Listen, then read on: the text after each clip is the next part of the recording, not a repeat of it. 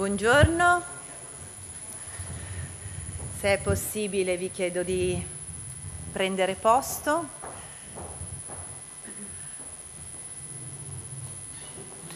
Eccoci qua, allora, benvenuti in questa cornice importante che è eh, il nostro Palazzo Esimbardi, sede della città metropolitana, un luogo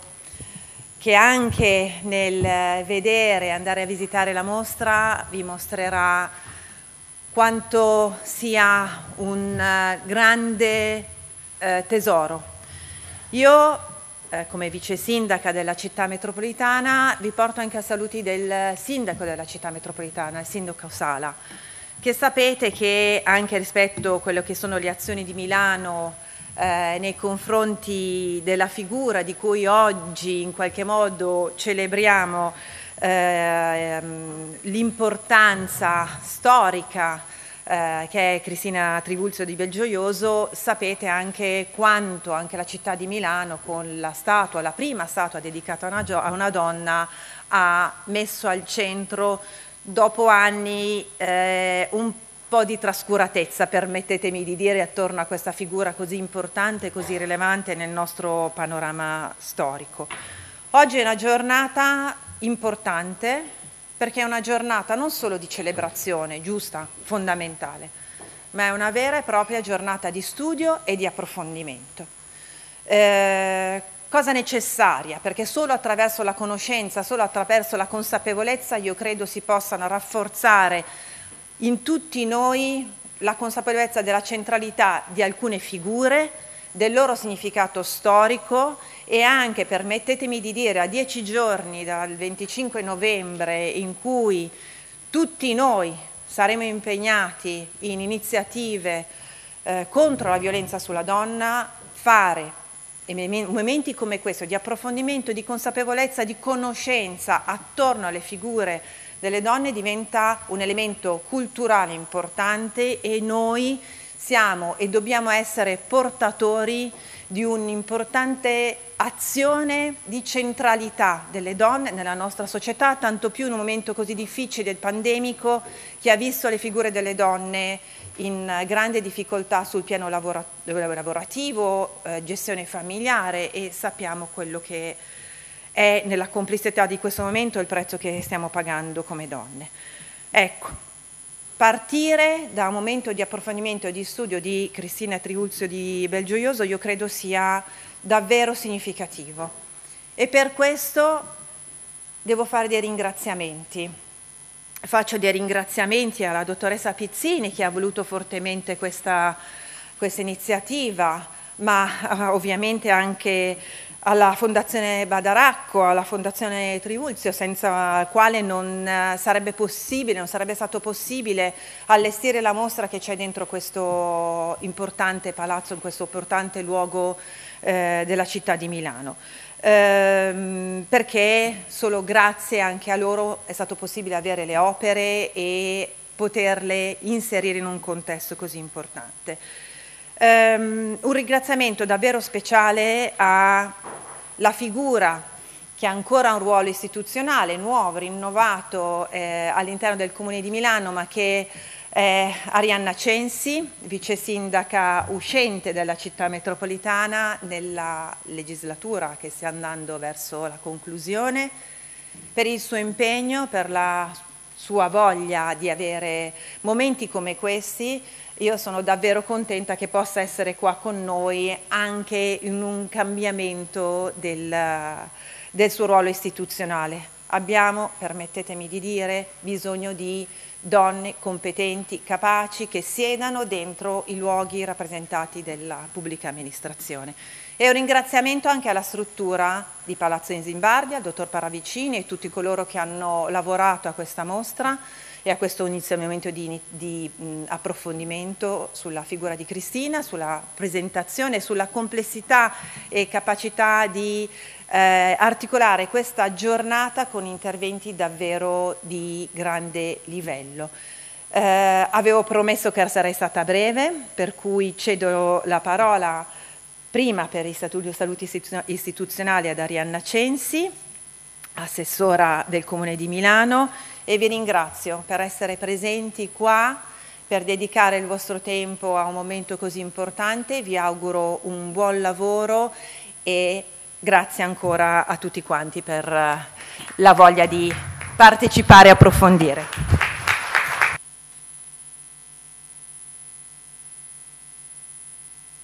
Ecco, grazie. Io, io, lo faccio in maniera non rituale, salutare e ringraziare Michela Palestra. Michela Palestra ha iniziato a fare questo meraviglioso compito che è quello di fare la vice sindaca della città metropolitana, che sostanzialmente è governare la città metropolitana. È un lavoro difficile, molto faticoso ma straordinariamente entusiasmante. Io sono certa che lei riuscirà in quello in cui io non sono riuscita, ad avere il riconoscimento, il giusto riconoscimento istituzionale della città metropolitana. Io farò di tutto per affiancarti in questo lavoro e per aiutarti e credo che in questo senso anche il sindaco di Milano è, che è anche sindaco metropolitano è straordinariamente al nostro fianco. Detto questo, oggi per me è una giornata bellissima per una serie di motivi. Il primo mi devo scusare con Franca Pizzini perché abbiamo iniziato questo percorso e poi io a un certo punto l'ho un po' abbandonata lungo la strada, ma lei insieme a tutti è riuscita lo stesso a portare a termine questo, questa giornata. Voglio ringraziarla per, eh, per, il lavoro che fa da anni insieme alle persone che oggi ho rivisto qua e sono tanto felice di averle riviste, da, dalla professoressa Fugazza a Marta Boneschi, infine a Caroline, Caroline Röhrig che non vedevo da parecchi anni. Ci lega la passione forse anche l'amore, se mi concedete, per una figura straordinaria come quella di Cristina Trivulzio, che io ho conosciuto quando ho avuto la meravigliosa avventura di fare il sindaco città, de, di Locate di Trivulzi, paese sostanzialmente che ha visto la figura di Cristina Trivulzio di Belzoioso come un elemento fondante della sua comunità, della sua storia. E credo che noi oggi facciamo una cosa che è in linea con quello che abbiamo tentato di fare in questi ultimi anni, che è, eh, diciamo, sopperire a una mancanza. Una delle cose di cui Cristina aveva più terrore era l'oblio, essere dimenticata,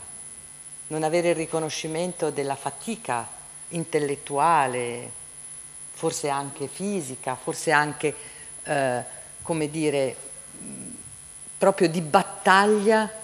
con una cultura del suo tempo, con un atteggiamento del suo tempo nei confronti delle donne che ai noi non è che sia cambiato tantissimo complessivamente. E allora mi pare che ogni azione che noi facciamo, ogni approfondimento del libro di Carolina è certamente una grandissima in questo senso, va in questa direzione, va nella direzione di far conoscere una figura straordinaria che ha eh, nella sua cultura, nella a distanza di 150 anni, una contemporaneità, una forza, una dimensione di cambiamento incredibile. Quindi hai ragione Michela quando dici è necessario approfondire e studiare perché il legame con la storia delle donne, con la storia del pensiero delle donne ha una profonda continuità con quello che sta accadendo oggi, anche con una certa limitatezza della cultura del nostro periodo, se posso permettermi. E quindi io eh, sono felice di questa giornata. Poi, come al solito, dovrò purtroppo andare perché il venerdì mattina ho scoperto che c'è tutti i venerdì mattina la giunta e quindi io alle 11 dovrò essere in giunta, però eh, sono certa che, che il lavoro che, che, farete sarà utilissimo alla nostra, alla nostra città. Grazie, grazie a tutti, grazie Franca e allora ti cedo la parola.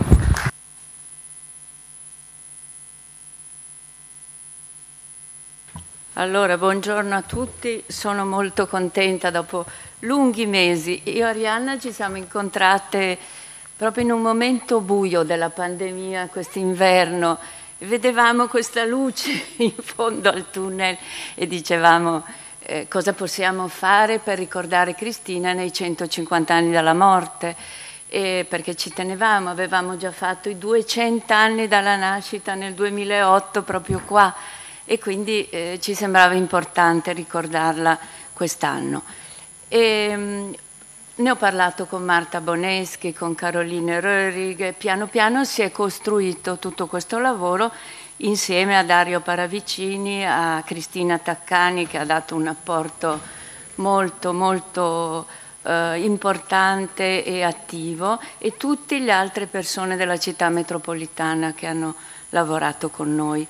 Eh, vedete il, il, titolo è La prima donna d'Italia da una celebre frase di Cattaneo che così l'aveva chiamata in una sua lettera. L'obiettivo è il ricordo della patriota naturalmente, ma eh, è per portarla proprio al centro della memoria collettiva, quello che diceva Michela Balestra, che eh, è molto importante che una donna così, che è stata conosciuta, studiata, raccontata, eh, che eh, no, però non è un riferimento ancora comune per l'Italia come altri uomini importanti del risorgimento. No? Quindi eh, de deve diventarlo.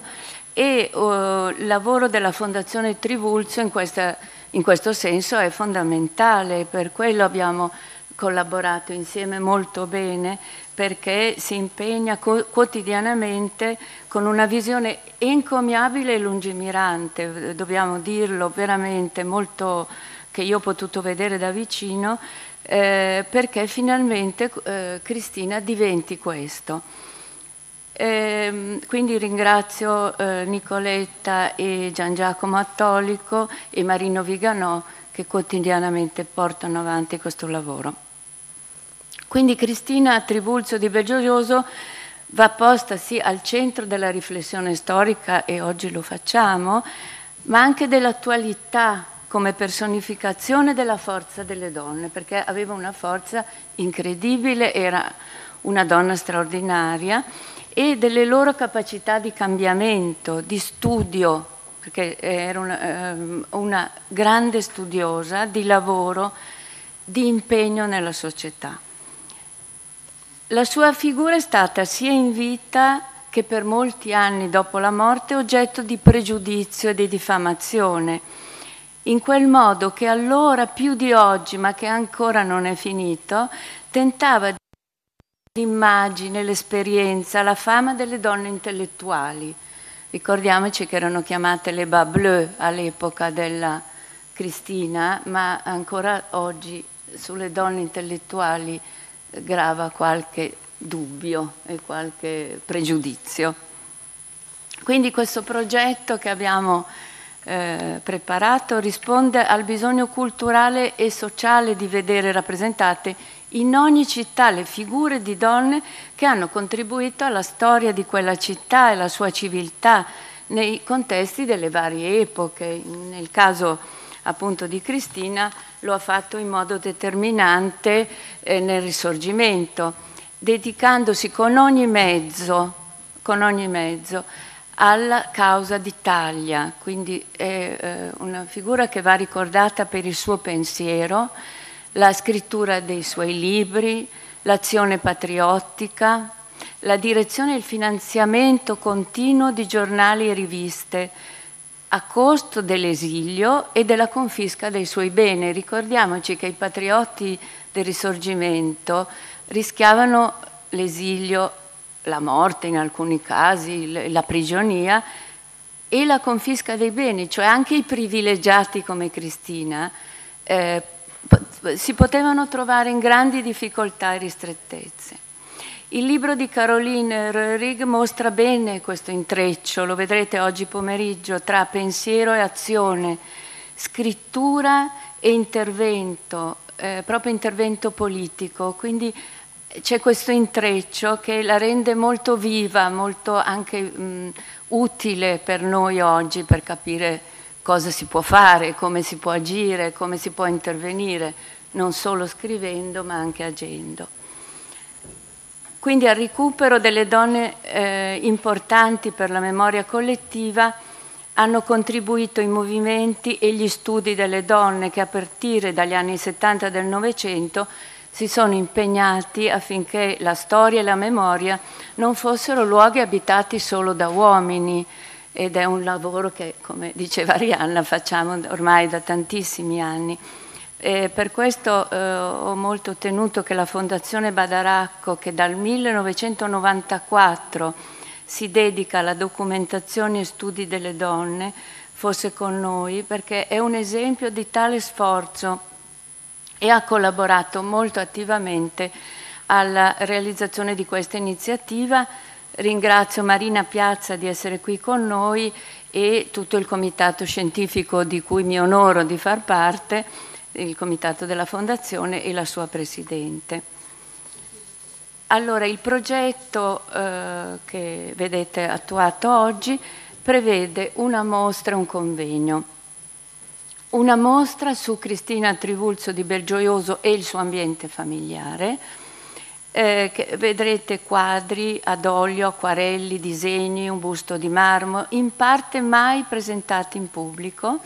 di importanti autori dell'Ottocento che raffigurano ritratti di Cristina, la famiglia Visconti d'Aragona, cioè la madre, il patrigno, le sorelle, il fratello, la sorella Virginia e il marito, i nonni, gli interni della casa della madre di Cristina gli, eh, e gli interni dello studio di Cristina. Eh, poi ve li presenteremo con Bernardo Falconi alla fine della mattinata e sono presenti qui in mostra grazie alla generosità di Paolo e Claudia dal Pozzo d'Annone che eh, non vedo tra il pubblico ma credo stiano per arrivare. La mostra eh, che vedrete è aperta fino al 25 novembre e accessibile con visite guidate per piccoli gruppi condotti dai volontari del gruppo FAI Giovani di Milano e dagli studenti dei licei milanesi impegnati in un bellissimo progetto del FAI che si chiama Apprendisti Ciceroni. È una cosa che io ho scoperto appunto in questa occasione che mi è sembrato bellissimo coinvolgere e anzi eh, loro hanno fatto di questi giorni proprio l'inizio dell'attività di quest'anno. Un progetto che è stato curato da Olimpia Dobati della delegazione milanese del FAI che ringrazio anche lei per la sua attività costante. Allora, il convegno di oggi eh, è in comitanza all'inaugurazione della mostra e risponde a un bisogno di approfondire alcuni temi che adesso vi accenno, poi naturalmente eh, verranno approfonditi dai relatori. Innanzitutto il titolo della mostra Genealogia e ambiente familiare che eh, appunto approfondirà questo aspetto, la formazione e l'istruzione di Cristina. Un ruolo importante che verrà eh, identificato è quello delle elite nei mutamenti politici e sociali di Milano eh, e eh, un altro aspetto importante è proprio quello che dicevo prima, Cristina come storica, come scrittrice, come giornalista, come intellettuale, come attivista politica. La sua concezione della storia come maestra e guida della politica io credo che ci possa illuminare bene anche oggi. Eh, eh, Cristina è stata, come sapete, anche molti anni a Parigi e protagonista del suo salotto alla pari degli ospiti intellettuali, eh, storici e filosofi più importanti dell'epoca a Parigi. Ma è anche la principessa socialista, tra virgolette, quella che ha fatto l'esperienza di Locate eh, e, e eh, ha reso importante il suo riferimento a Fourier e a Saint-Simon. Poi avremo eh, un intervento importante su Cristina come donna non conformista e progressista il suo saggio sulla condizione delle donne del 1866 e le prospettive alla luce dello sviluppo del femminismo nel Novecento. Ma anche la viaggiatrice, la donna cosmopolita, eh, l'Europa e il Medio Oriente, la letteratura di viaggio e la narrativa è un altro aspetto. Il rapporto con i protagonisti del movimento nazionale, quindi innanzitutto Cavour e Casa Savoia, Cattaneo, come vi dicevo, Mazzini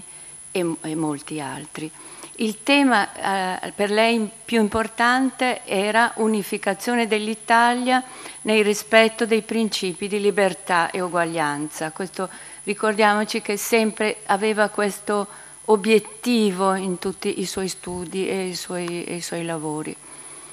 E eh, nel pomeriggio eh, avremo un momento sull'attualità e l'eredità di Cristina, che, eh, appunto sulla quale ci serve riflettere oggi, e a partire dai luoghi che Cristina ha abitato. Eh, il convegno, appunto costituito da vari interventi, eh, adesso partecipano studiosi ed esperti di diversa professione, tutti ad alto livello di competenze, che hanno scritto su Cristina Trivulzo di Belgioioso o su argomenti a lei collegati. Tra questi appunto ricordiamo il libro di Caroline che è presentato oggi, Cristina Trivulzo di Belgioioso, Storiografia e politica nel Risorgimento. Eh, in, vi presenterò via via i nostri relatori ricordando che anni fa ci siamo già trovati appunto eh, per i 200 anni dalla nascita di Cristina, sia qui a Palazzo Isimbardi che per un importante convegno che ci fu a Palazzo, Morandi, a Palazzo Morando nel 2008. Eh, quindi nel ricordo di Cristina, e questo è per me molto bello, sono nate amicizie, collaborazioni, eh, quasi un gruppo di lavoro anche a distanza che eh, è durato negli anni e che continua. Quindi li ringrazio tutti con affetto e ringrazio tutti voi per essere qua. Adesso. Allora, adesso vi presento il primo intervento di Maria Chiara Fugazza, che è mm, una storica, ha condotto molti studi eh, con speciale riferimento a temi e personaggi di ambito milanese e lombardo,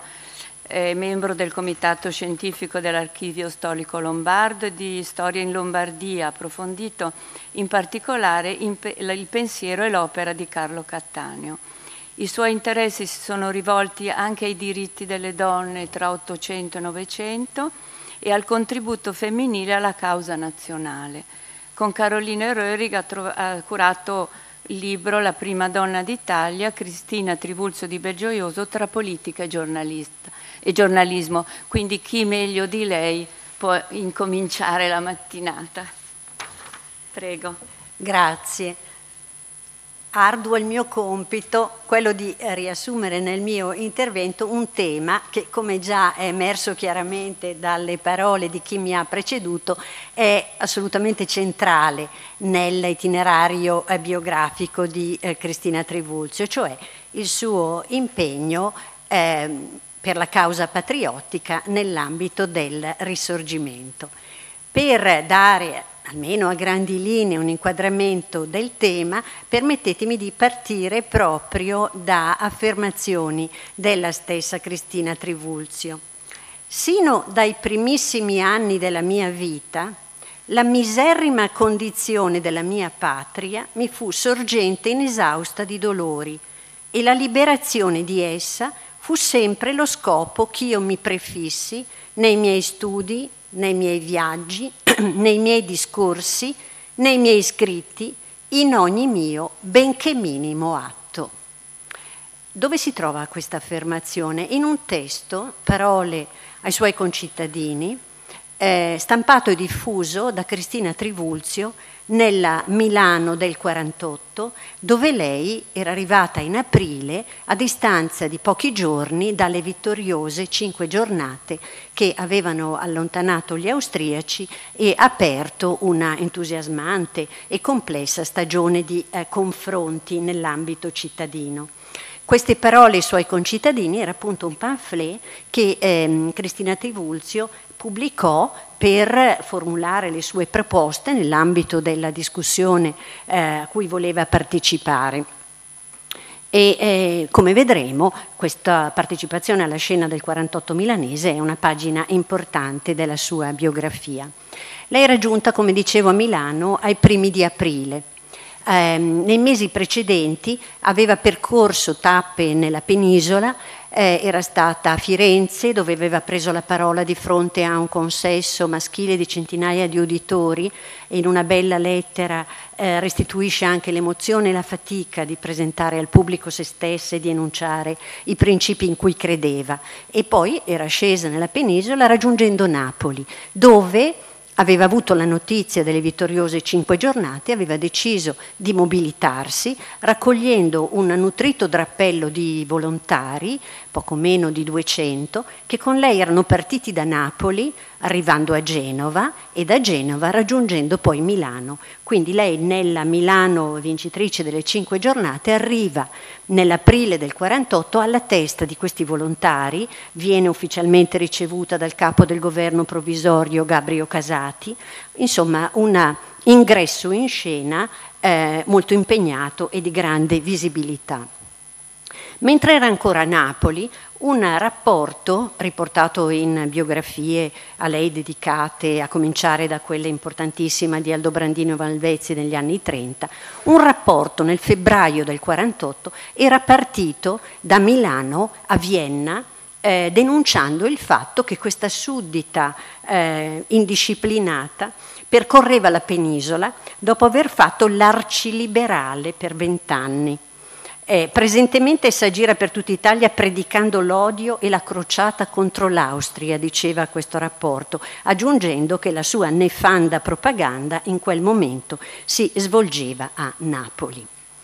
Da questi cenni che ho fatto al testo della stessa Cristina Trivulzio al rapporto che la riguarda emerge chiaramente dunque la centralità, l'importanza dell'impegno eh, patriottico che caratterizza l'arco eh, di tutta la sua esistenza, che è al centro delle principali biografie a lei dedicate e al centro anche dell'ampio e documentato volume di Caroline Röhrig, di cui oggi pomeriggio verranno approfonditi molti aspetti. Eh, si tratta di interrogarsi sulle radici anche di questo suo sentimento, di questo suo impegno. Beh, erano radici che affondavano già nell'ambiente di famiglia, eh, l'aria respirata in famiglia, lei era nata nell'otto, era rimasta eh, orfana di padre molto presto e l'influenza del patrigno Alessandro Visconti d'Aragona, amico di Confalonieri e carcerato dopo i fatti del 21, sarà prigioniero fino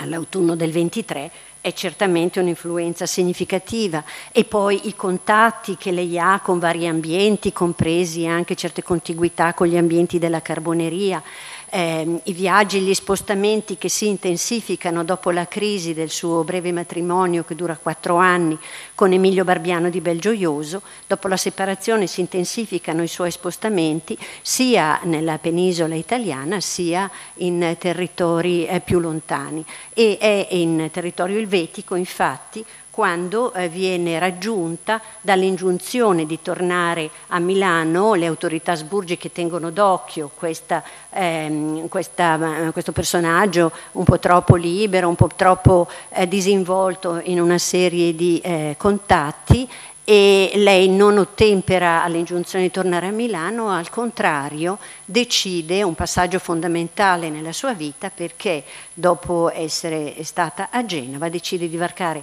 la frontiera e recarsi in territorio francese. La Francia eh, la accoglie e, ci sarà un lungo periodo eh, di lei in territorio francese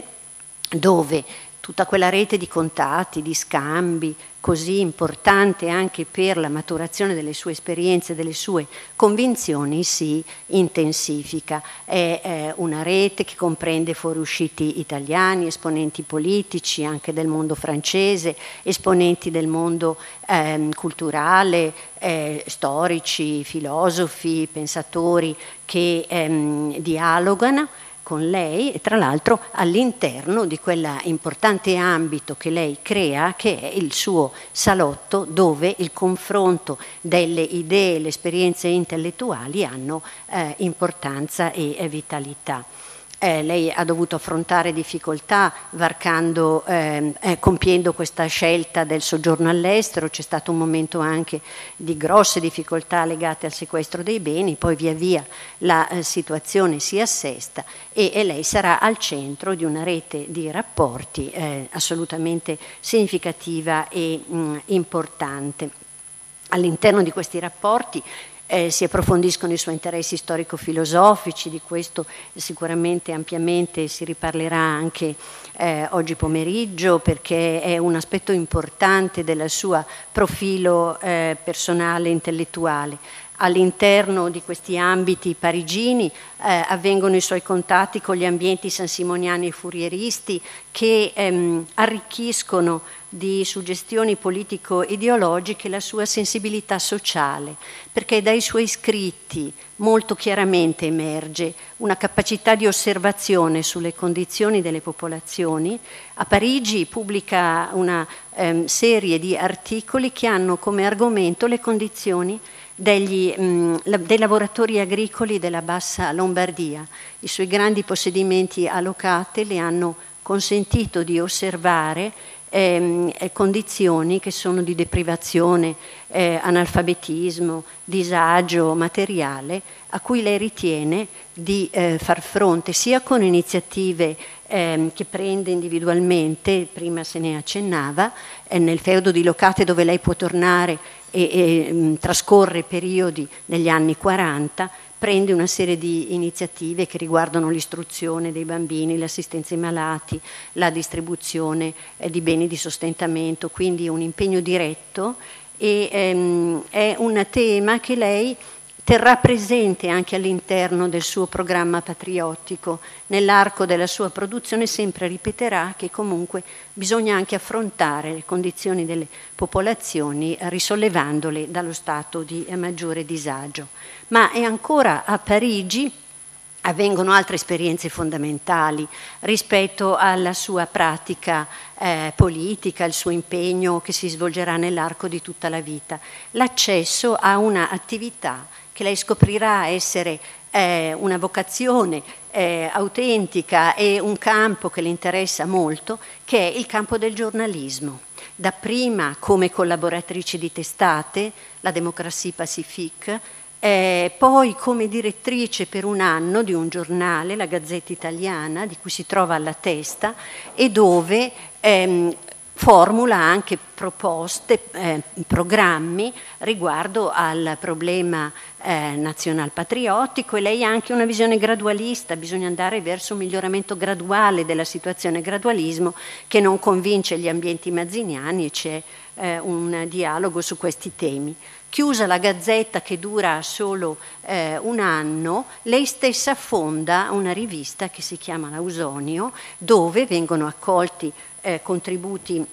diversi e dove lei stessa ehm, pubblica scritti in cui si mette in luce come ehm, il suo interesse storico, quindi per la storia d'Italia, si abbini anche a uno sguardo sul presente e sul futuro. Quindi eh, questi due piani lei li ha presenti e eh, cerca di eh, dedicarsi proprio a questo tipo di eh, temi, un'osservazione sulle condizioni dell'Italia e eh, una formulazione di eh, programmi per il futuro. Con tutto questo alle spalle, dunque, lei arriva nella Milano del 48, da cui abbiamo preso le mosse ehm, è consapevole di avere proposte da fare, eh, conosce gli strumenti del giornalismo e nella Milano del 48 fonderà un nuovo giornale come supplemento dell'Ausonio che è il Crociato dove eh, scrive, pubblica e si confronta con gli altri protagonisti della scena del momento.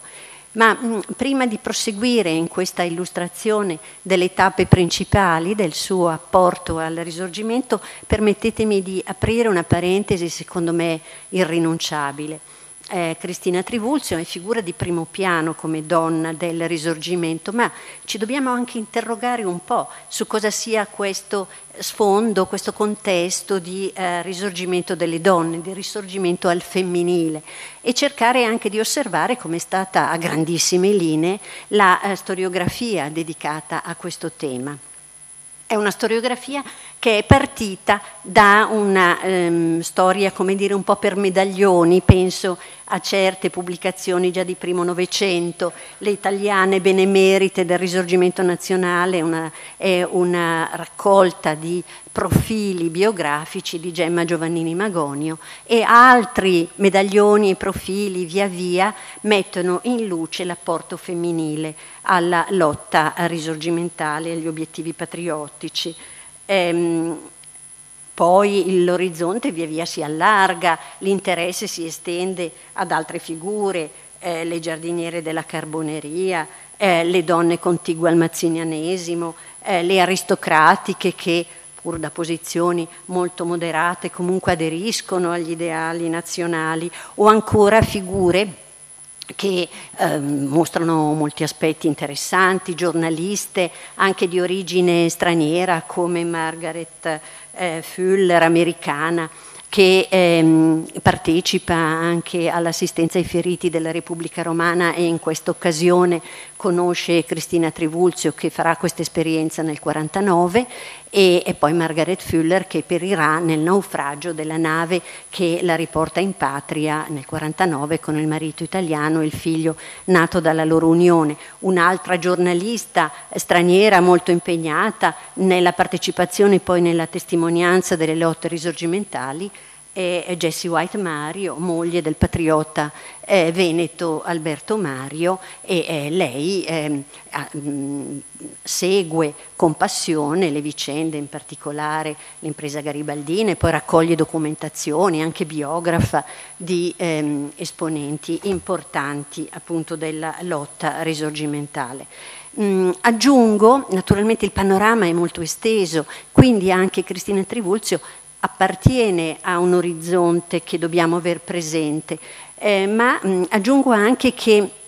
eh, la storiografia eh, più recente, in anni a noi più vicini, si è anche interrogata non solo sulle vicende strettamente biografiche, ma su certe caratteristiche di fondo e sulle valenze simboliche della partecipazione femminile alla eh, lotta patriottica e risorgimentale. Ecco, e mh, studi ehm, valenti hanno messo in risalto come l'adesione alla lotta risorgimentale abbia la connotazione di un'adesione non solo a un programma politico, ma anche a una rigenerazione morale che le donne sentono di dover perseguire nell'ambito anche della loro cerchia familiare, nella condivisione di valori con eh, i compagni della loro vita, i mariti, i figli, a cui trasmettono e con cui condividono valori e obiettivi per cui poi si trovano anche talvolta a pagare prezzi molto elevati. Ecco, eh, gli studi hanno messo in risalto come spesso le figure femminili abbiano questa connotazione, quasi sempre, e all'interno di questo modo di coltivare valori in una cerchia familiare che persegue anche obiettivi condivisi, coltivano poi a loro volta delle attività che possono essere attività benefiche, eh, che si incrementano anche ehm, proprio in questa fase, oppure coltivano attività che erano prima mh, mm, mm, attività più eccezionali, che adesso diventano più diffuse, come possono essere quelle della scrittura. Un libro di una decina d'anni fa di Maria Teresa Mori, ha passato in rassegna varie figure di scrittrici eh, del periodo. I nomi sarebbero tantissimi, da Caterina Franceschi Ferrucci, Massimina Fantastici Rosellini, eh, Giuseppina Guacci Nobile, Olimpia Rossi Salvio, eh, eh Sal, Savio e, e Felicita Morandi in Lombardia. un panorama vasto mh, mm, all'interno del quale si colloca Cristina Trivulzio, ma con delle particolarità che è opportuno sottolineare. Mentre, come dicevo, la maggior parte delle donne impegnate nel, ehm, e, e, appassionate al, rispetto alla lotta risorgimentale condivide questo con eh, mariti, eh, figli, la cerchia familiare, lei si trova per le sue circostanze personali invece a, a agire in prima persona. È una donna sola che si muove in modo diretto e che cerca e vuole la, l'interlocuzione anche ai livelli più alti Eh, è lei che enuncia programmi, che entra in dialogo diretto, che prende la parola in consessi pubblici o attraverso le pagine, come dicevo, dei giornali e eh, degli articoli che pubblica. Quindi la scrittura si eh, abbiamo detto, è condivisa anche da una serie più estesa di altre donne, ma attenzione, le donne di, a cui accennavo prevalentemente si dedicano a una scrittura poetica e letteraria. Questo è il modo eh, preferito per esprimere un sentimento di adesione al programma patriottico. Pochissime coltivano invece un territorio che Cristina Trivulzio considera proprio e a cui si dedica in modo molto prolungato, cioè il campo proprio del dibattito eh, storico, eh, politico-ideologico, la presa di parole, anche tenendo conto dell'evoluzione della situazione, quindi anche con ehm, eh, assunzione come dire, di parole d'ordine che poi si modificano, ma questo non è una prerogativa solo sua. L'evoluzione della lotta risorgimentale, le tappe diverse attraversate implicano una revisione delle posizioni prese e, e quindi anche lei non si sottrae. Ma ripeto, con una grande privilegiata attenzione proprio per il piano politico eh, e del dibattito pubblico che pochissime altre donne frequentano. C'è Caterina Franceschi Ferrucci, tra le letterate prima citate, che nel 1948 pubblica un saggio della Repubblica in Italia, ma è un'eccezione. E per eh, Cristina Trivulzio invece intervenire su questo terreno non è un'eccezione accennavo all'inizio a quel suo eh, pamphlet, Le parole ai suoi concittadini. Ho già detto del fatto che nella Milano eh, successiva alle cinque giornate eh, prende la parola con un giornale da lei fondato e diretto che durerà fino praticamente alla caduta della città, fino alla fine di luglio, che è il Crociato eh, nello stesso periodo lei ehm, rivolge una lettera a Carlo Alberto enunciando alcuni punti del, delle sue opinioni e delle sue proposte per la soluzione della questione italiana. Eh, e ancora, sempre nella Milano liberata, fonda una società dell'Unità d'Italia. Eh, a cui chiede adesioni eh, da parte di altri. Qual è la linea che lei persegue attraverso tutta questa mobilitazione? Una linea che ha come obiettivo fondamentale l'unità d'Italia e che afferma che per raggiungere questo scopo è fondamentale appoggiarsi, comunque riferirsi alla uh, monarchia sabauda. Questa è la linea, ma è una linea che vuole far convergere rispetto all'obiettivo unitario anche componenti importanti della società che sono state piuttosto raggiunte dalla propaganda mazziniana e quindi sono di orientamento democratico, a cui lei rivolge le sue proposte, una sorta di linea intermedia per raggiungere l'obiettivo fondamentale e prioritario dell'unità. Questo è il discorso e lei in questo senso non solo rivolge la, le- la, lettera a Carlo Alberto, ma cerca un'interlocuzione anche con Mazzini, che è arrivato a Milano negli stessi giorni in cui lei stessa è arrivata. Di fatto questa linea di mediazione è, impraticabile perché invece c'è una rottura e una contrapposizione determinata soprattutto dal fatto che il 12 maggio il governo provvisorio indice il plebiscito per l'immediata fusione con il Regno Sardo, che è una, presa, eh, una decisione che suscita le reazioni dei democratici, lo stesso Mazzini che fonda un nuovo giornale, l'Italia del Popolo, e ovviamente non può aderire a questa prospettiva. Ma le cose poi precipitano perché le vicende eh, della campagna di guerra fanno sì che già ai primi di agosto gli austriaci siano alle porte della città. Milano torna eh, nelle mani degli austriaci, è in un momento gravemente traumatico per tutto il fronte patriottico, eh, ci sono anche esplicite accuse di tradimento nei confronti del sovrano per non avere deciso la difesa a oltranza della città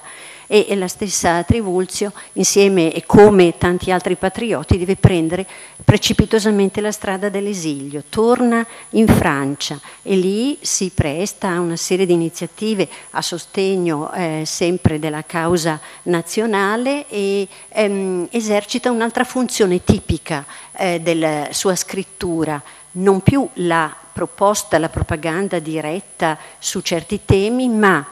alla luce poi della grave delusione subita e quindi dell'ammissione del fallimento di quel programma per cui lei stessa aveva lavorato, ecco eh, il bisogno di rendere testimonianza di quello che è accaduto. E lei scrive su importanti giornali francesi, sul National prima e poi quattro lunghi saggi sulla Revue de Monde, dei resoconti dell'accaduto e delle vicende del 48 milanese, ma non solo, anche di quello che è accaduto in Veneto Veneto e poi della campagna condotta dai volontari durante la guerra e mh, testimonianze che saranno apprezzate anche dalla storiografia successiva uno storico del calibro di Gaetano Salvemini, nei primi del Novecento, indicherà questi saggi di Cristina Trivulzio come testi eh, di riferimento, tra altri, insieme ad altri, eh, da tenere presenti. Quindi questa alternanza, come dire, di scrittura, che può essere scrittura in presa diretta durante gli avvenimenti con proposte, una scrittura retrospettiva su quello che eh, lei stessa ha potuto osservare o su cui ha raccolto testimonianze e informazioni, come accade per il 48 nel Veneto, per cui lei eh, trae informazioni da Niccolò Tomaseo. Ehm, lo stesso andamento di partecipazione diretta e al tempo stesso di testimonianza di quello che è accaduto, di resoconto, di ripensamento, sia anche per l'altra tappa eh, fondamentale dell'impegno eh, di Cristina Trivulzio dopo il 48, il 49. Tornando in Italia, lei eh, riceve eh, dal, dai triumviri che reggono eh, la città eh, di Roma, la Repubblica Romana, riceve il compito di coordinare l'assistenza ai feriti tra i combattenti della Repubblica, un compito delicato, difficile, traumatico anche per le condizioni eh, mh, estremamente ardue in cui si svolge tutto questo. E mh, lei ha anche delle prese di posizioni vivaci, di contrasti con altri responsabili dell'assistenza e mh, si sente da tante testimonianze, a cominciare da quella di Mazzini, che insomma sua, ehm, il suo impegno è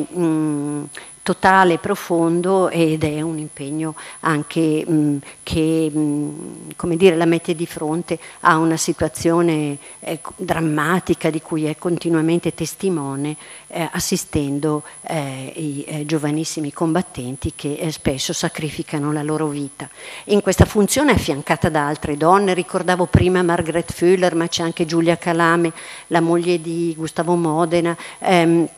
ci sono um, altre figure che la eh, affiancano in, questa, eh, in, questo ruolo, Enrichetta Di Lorenzo, la compagna di Carlo Pisacane, e, lei stessa si dovrà difendere in una lettera a Pio IX dall'accusa di avere impiegato in, questo, eh, in questa funzione donne di malaffare. Comunque è stata sulla breccia dunque e al tempo stesso non ha rinunciato a quella scrittura che tanto coltiva e, e che tanto la aiuta ad approfondire pensieri e ehm, considerazioni, ne scrive all'amica ehm, e, e Caroline Jobert e ad altri amici e continua a scrivere resoconti che eh, trattano il, le esperienze passate o anche la condizione presente in cui si trova quando, dopo la caduta della Repubblica ai primi di luglio, è costretta, della 49 è costretta di nuovo una, a un esilio. È un esilio questa volta in terre lontane perché, come sappiamo, si ritira per alcuni anni in Turchia e, e continua comunque sia a scrivere ai suoi corrispondenti eh, sia a um, mandare ai suoi corrispondenti privati, come dire che però poi, come nel caso delle lettere alla Jobert, danno anche alle stampe quello che lei eh, testimonia e eh, racconta nelle sue lettere e poi è anche corrispondente di una testata americana, quel New York Daily Tribune dove eh, scriveva Margaret Fuller, che lei aveva conosciuto proprio eh, nel periodo della eh, Repubblica Romana. Quindi una scrittura attraverso la quale ehm, lei, in modo meno sistematico rispetto ai saggi del 48, comunque fa affiorare ricordi. Souvenir dans l'exil è il titolo che eh, le sue lettere ricevono nella eh, essendo stampate eh, in Francia. Souvenir dans l'exil, ricordi delle esperienze vissute, ma anche considerazioni di vario genere, di politica, anche internazionale, l'amarezza per il ruolo che riguardo alle vicende italiane ha assunto la Francia il paese che l'ha accolta per tanto tempo, ma che poi invece è stato determinante per la caduta della Repubblica Romana. E eh, questa scrittura continua è un esercizio che non viene meno anche quando le nuove vicende eh, dello scenario eh, politico-militare portano alla liberazione della Lombardia, all'allontanamento degli austriaci e l'avvento di quel regno d'Italia che per lei è, e come per le altre donne del risorgimento è stato eh, obiettivo fondamentale. Lei nel 1955 torna in Europa, poi dopo il 59-60 potrà stare stabilmente oramai in Italia, continua un'attività di scrittura che per lei è irrinunciabile e quindi una storia di Casa Savoia, ma anche poi mh, esperimenti narrativi. Lei eh, scrive un racconto ambientato nella Lombardia del momento ehm, e lo dà alle stampe, eh, sulla, sulla, stampa francese in primo luogo. La, è una narrazione dentro cui lei comunque fa passare e filtrare anche temi, sentimenti, motivi che eh, riguardano eh, la lotta risorgimentale ehm, che ehm, è stata in corso e che sta portando all'esito che sappiamo. La generazione delle donne del risorgimento come lei, via via dopo l'unità, volge al tramonto. Lei, come altre, ha vissuto una parabola, ma lei anche più di altre, per le ragioni che abbiamo detto, una parabola di grande visibilità e di eh, straordinaria esposizione pubblica, impegno nelle forme eh, che dicevo, talvolta la discesa in campo diretta e spesso in modo continuativo attraverso le pagine dei suoi scritti. È una stagione che si va concludendo, alle donne è assegnato il compito di cooperare all'interno delle strutture eh, del nuovo Stato, ma certamente in modo non disomogeneo, anzi piuttosto simile a quello che accade in altri paesi, eh, alle donne viene riconosciuto ancora prevalentemente l'ambito privato e familiare come ambito eh, primario di appartenenza e di impegno. E, ehm,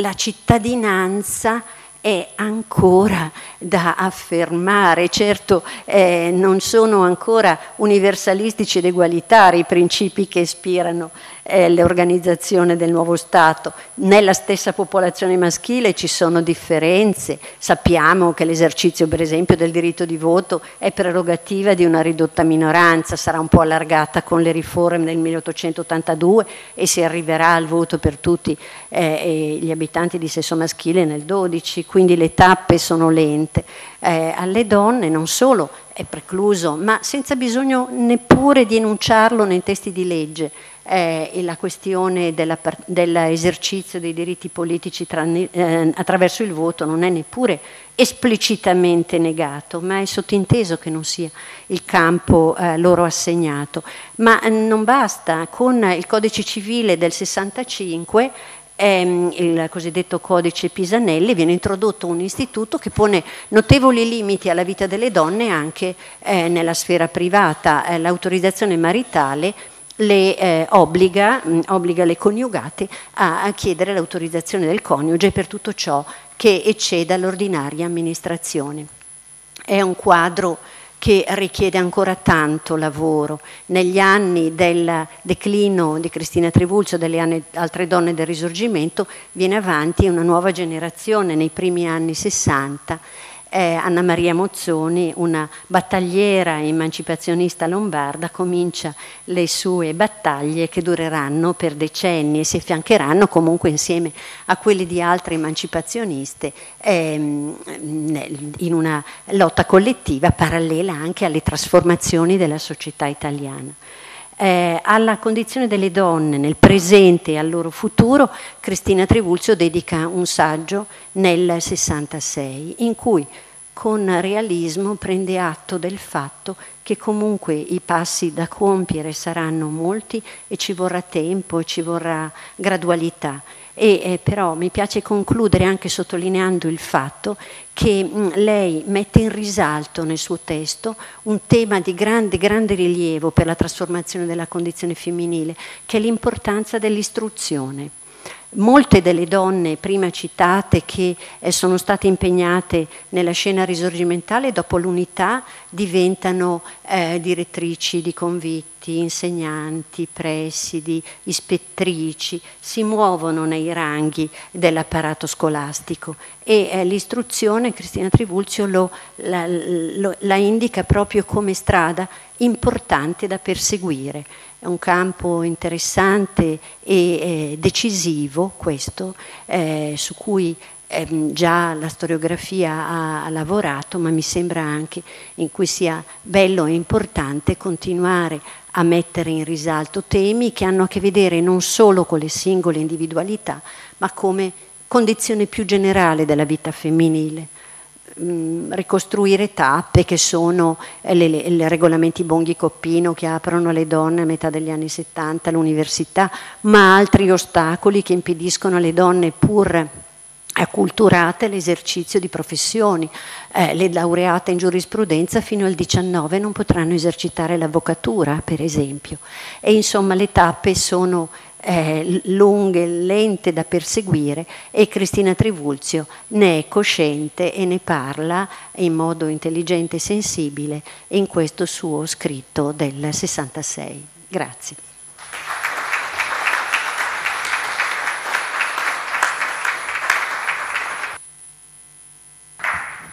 Grazie Maria Chiara per questa relazione così approfondita e anche appassionata che eh, restituisce a Cristina il, il suo luogo, il suo, sua, eh, il suo, luogo nella storia e anche nella storia delle donne. E quindi eh, ben si inserisce adesso la presentazione di Marta Boneschi che ha per titolo la, la reputazione di un anticonformista, perché in questo quadro appunto eh, Cristina risulta un anticonformista. Eh, vi presento mm, in poche parole Marta Boneschi, che molti conoscono, è autrice di libri che raccontano storie di donne, di famiglie, di città tra 7 e 900. Eh, tra questi un libro che amiamo ricordare proprio per, anche per l'epoca di Cristina, è quel che il cuore sapeva, storia della famiglia Beccaria, Verri e Manzoni. Eh, la donna segreta, storia di Metilde Viscontini Demboschi, Santa Pazienza, ma anche Milano, l'avventura di una città. In, in, questo libro e anche nel libro Gente di città, gente di montagna si racconta di Cristina Trivulzio di Belgioioso e delle cinque giornate di Milano, quindi siamo proprio nel vivo dell'argomento. Prego. Grazie. Dopo le ampie pennellate, ampie esaurienti pennellate di Maria Chiara Fugazza su Cristina, io impugno il mio pennellino per affrontare una questione più specifica della figura e della storia di Cristina di Belgioioso, il suo anticonformismo. Eh, non so se capita anche a voi, ma quando io penso alla, alla, alla vita e all'opera di, di, Cristina, mi sembra di eh, guardare dentro un caleidoscopio dove si alternano velocemente colori e forme. È una vita eh, incalzante la sua, ma eh, questi, tra questi colori e forme, che, c'è una ricorrenza che mi colpisce sempre ed è la, è come se Cristina fosse un bersaglio di una grande mole continua di, di commenti, di giudizi, eh, qualche volta di elogi,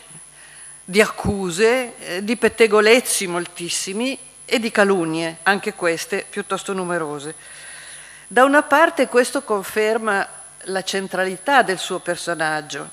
dall'altra parte è invece una prova che la diversità, l'audacia, specie se in una donna, è spesso criticata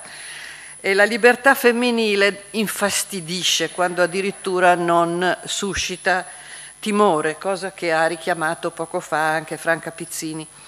Insomma, l'anticonformismo ha un prezzo e siccome Cristina è una donna che si inventa la vita, che esce dalle regole se necessario, se le è necessario. È un'intellettuale libera, è una patriota attiva ed è anche una riformatrice e una filantropa, non rinunciando mai a quello che è, cioè una grande aristocratica dotata di un patrimonio, di privilegi e di responsabilità del suo rango. Eh, ma proprio, eh, sono questi gli aspetti eh, che confermano eh, direi anche che affascinano della personalità di Cristina perché è una personalità complessa, a volte contraddittoria, ma sicuramente una personalità estremamente ricca. Dunque Cristina aveva capito, lo sapeva, che l'anticonformismo è un passo necessario, benché eh, sia un passo costoso. Noi oggi sappiamo, grazie alle sue opere e alla sua azione, quale sia stato il valore di questo suo anticonformismo che ha aperto la strada eh, innovando e ispirando i contemporanei e i posteri. Eh, Cristina ha anticipato uno stile di vita che era del tutto ignoto alle, sue, eh, alle donne del suo tempo, della sua epoca, ma che invece è diventato via via, sempre più via via, lentamente, come ricordava Maria Chiara Fugazza, è diventato sempre più normale per le donne venute dopo di lei. Il fatto che noi oggi siamo stati qui con una vice sindaca e un'assessora è una prova che questo oggi è normale, al tempo di Cristina era decisamente impensabile. Allora gli innovatori, come è stata Cristina, difficilmente la spuntano subito e qui appunto eh, l'anticonformismo ha un prezzo, ma eh, gli innovatori lasciano tracce preziose delle loro opere. Eh, Pietro Verri diceva, eh, con una certa amarezza, ma con molta verità, che le opere dei filosofi spesso restano senza remunerazione, ma non senza frutto, e questo si può dire anche per Cristina che è stata eh, criticata e bersagliata di, eh, di pettegolezzi e calunnie, eh, la sua opera passava in secondo piano, era la persona che interessava di più bersagliare, ma che invece ha lasciato un'eredità cospicua alla nostra cultura e al nostro modo di vivere. Dunque, quando si viene al dicono di lei di Cristina Trivulzio, si incontra quella mole immensa di giudizi contrastanti che ho menzionato prima. Adesso qui non li affrontiamo tutti perché se no restiamo fino al prossimo secolo, ma eh, Cristina lo sapeva, eh, ne, era, ne, era, pienamente consapevole. Ha, ha soltanto 30 anni nel 1848 quando dice mi sono vista così spesso oggetto di basse e stupide calunnie, cioè lo sapeva benissimo che cosa si andava dicendo di lei. Sappiamo che ne soffriva, ne soffriva vivamente e reagiva o eh, eh, sopportando in silenzio oppure con la vivacità che è propria del suo carattere energico. Io farò eh, da qui in poi soltanto qualche esempio per dare l'idea di quale, quale, sia stato il prezzo di, di queste scelte di Cristina, che però sono preziose per il nostro stile di vita e la nostra cultura. Ehm, questo, questo, flusso di, di, giudizi su Cristina non si ferma mai durante in tutto il corso della sua vita. Ehm, e in questi giudizi ha un peso preponderante il fatto che lei sconfini, che eh, sia una donna istruita e colta, che prende la parola, che non eh, si sottomette, e in, in una società dove il posto della donna è la, la, la casa e la famiglia e il suo compito non è l'indipendenza ma la sottomissione. Eh, quando Cristina ha, ha, sei anni, nel 1814, ehm, la protagonista del romanzo di Jane Austen, Fanny Price, Mansfield Park, in Mansfield Park, dice con ironia e con amarezza che la stupidità in una donna accresce i suoi poteri di seduzione. Ecco, Cristina, che appunto aveva sei anni all'epoca di questa di questa preziosa frase non, eh, non, non, non, rientra assolutamente in questo orizzonte, fa di testa sua e i suoi poteri di seduzione forse sono stati addirittura accresciuti dal suo essere una donna così notevole. Il, eh, la massa di giudizi poco lusinghieri su Cristina si concentra. Eh,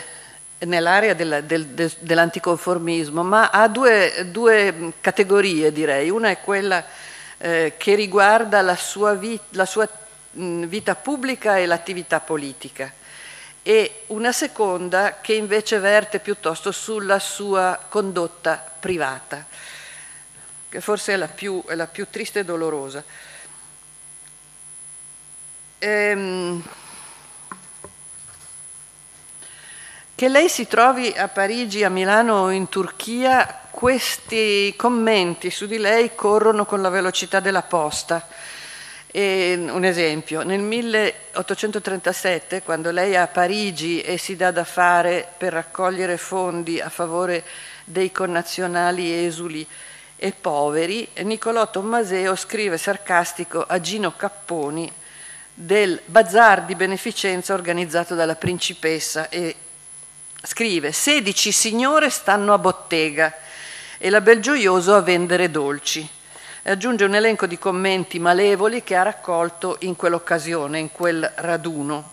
Naturalmente stanno a bottega è piuttosto insultante, e, mm, tanto più che si tratta di una principessa.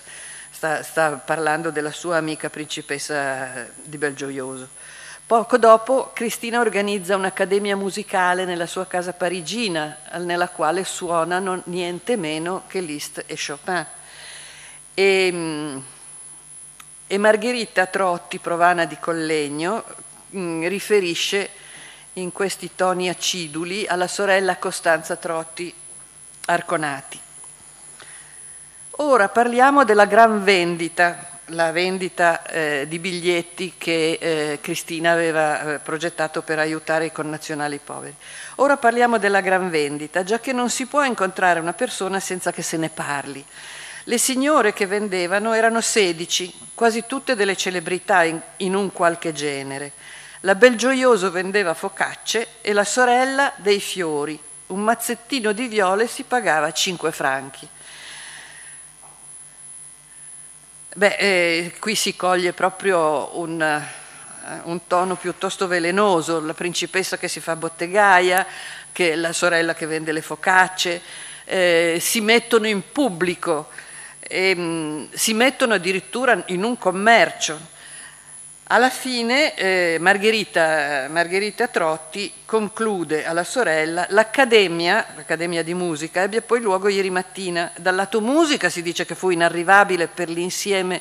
delle sommità che vi figurarono, ma il numero degli uditori fu la metà minore di quello a cui si aspettava.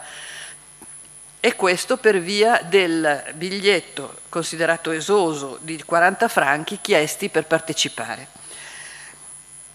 Dunque, la, eh, in questo caso l'iniziativa patriottica benefica di Cristina viene accolta malissimo e commentata con vera acidità. Eh, la sua attività politica e benefica. Poi ci sono i suoi studi e anche qui eh, lei è bersaglio di commenti poco, a dir, a dir poco sfavorevoli. E quando scrive il saggio sulla formazione del dogma cattolico, la Congregazione per la dottrina della fede lo mette all'indice dei libri proibiti eh, e questo non stupisce. Eh, d'altra parte un osservatore eh, restio ai pregiudizi come Alexis de Tocqueville lo giudica un capolavoro profondo nel pensiero e ammirevole nella forma. Eh, il, um, Tocqueville in questo caso giudica l'opera, non la persona, eh, come invece eh, abbiamo visto che facevano Tommaseo o Margherita Trotti. E, ehm, quando eh, Cristina affronta lo studio della scienza nuova di Vico e la traduzione in francese, siamo nel 1843, Giuseppe Massari, che è un suo collaboratore, scrive a Vincenzo Gioberti. È sotto i torchi attualmente a Parigi una traduzione francese di Vico. Quel che è peggio, tal traduzione è opera di un italiano, e più, di una gentildonna italiana, della quale vi sono note le teologiche lucubrazioni Povero Vico, il Dio lo campi da nuovi strazi. Questo è, eh, è una, un commento particolarmente insultante perché viene da Massari che collabora con Cristina, che si, si, eh, si, eh, si colloca nell'area dei patrioti e in questo caso dimostra proprio una, una sorta di slealtà profonda. Però il punto è sempre, Cristina è una donna e sconfina in territori che non competono alle donne. E per di più Massari giudica la persona, non l'opera, che peraltro non è appena cominciata, la, la traduzione di Vico in francese. Tra parentesi, nel, nel, ricchissimo libro di Caroline Röhrig, questa questione della del, storia insomma, della traduzione di Vico in Francia e dell'impatto che ha avuto è trattata con grande ricchezza e abbondanza di, eh, di notizie, anche non particolarmente conosciute, anche, anche non, non, conosciute del tutto.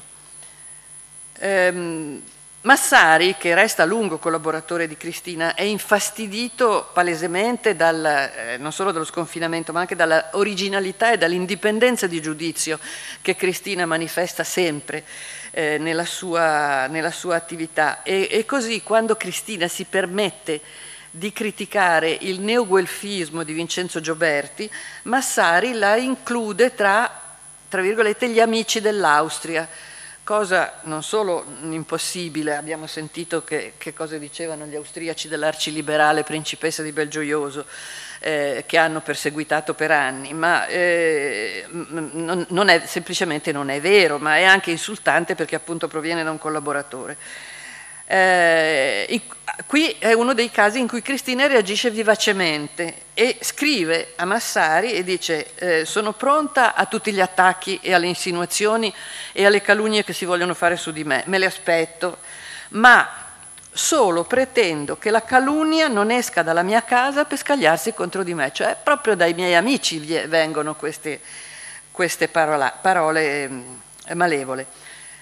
Poi sappiamo che un paio d'anni dopo eh, Terenzio Mamiani, che è a Roma, respinge l'invito a collaborare all'Ausogno, che eh, il giornale che Cristina sta mettendo in piedi a Parigi e che è un, un'idea estremamente originale, insomma un giornale patriottico che porti all'attenzione dell'Europa la questione italiana. E eh, si dice che Terenzio Mamiani, eh, a Terenzio Mamiani troppo ripugnava che un giornale politico, unico e primo di tal fatta per l'Italia, fosse diretto da una donna. Ripugnava. Eh, la cerchia della famiglia e degli amici più cari, qui veniamo alla sfera privata, invece alla sua condotta privata, la cerchia degli amici e dei, dei, dei familiari non fa eccezione perché anche da lì, e molto spesso da lì, viene, eh, proviene disapprovazione e un flusso di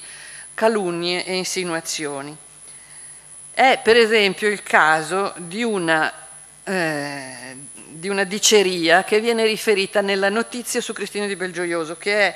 un testo scritto scritto dalla cognata Teresa Monticelli, che era la moglie di Alberto Visconti d'Aragona, il fratello di Cristina, è pubblicata dopo la morte di Cristina e in questa notizia si riferisce una storia che circolava eh, che circolava tra Parigi e Milano nel 1846 e che riguarda Federico Confalonieri. Come eh, è già stato ricordato, Federico Confalonieri era ben noto naturalmente a Cristina, era, eh, faceva parte della stessa cospirazione anti-austriaca del 1821 cui era, eh, a cui aveva partecipato anche eh, il patrigno di Cristina e eh, che poi ne aveva, aveva, patito il carcere per questo. Quindi eh, stiamo parlando di cose che riguardano l'ambiente milanese e che mh, mm, mm, Cristina conosceva bene e ambiente milanese che ben conosceva Cristina e questi suoi legami. Allora, questa storia che circolava tra Parigi e Milano nel 1846 e riguardava,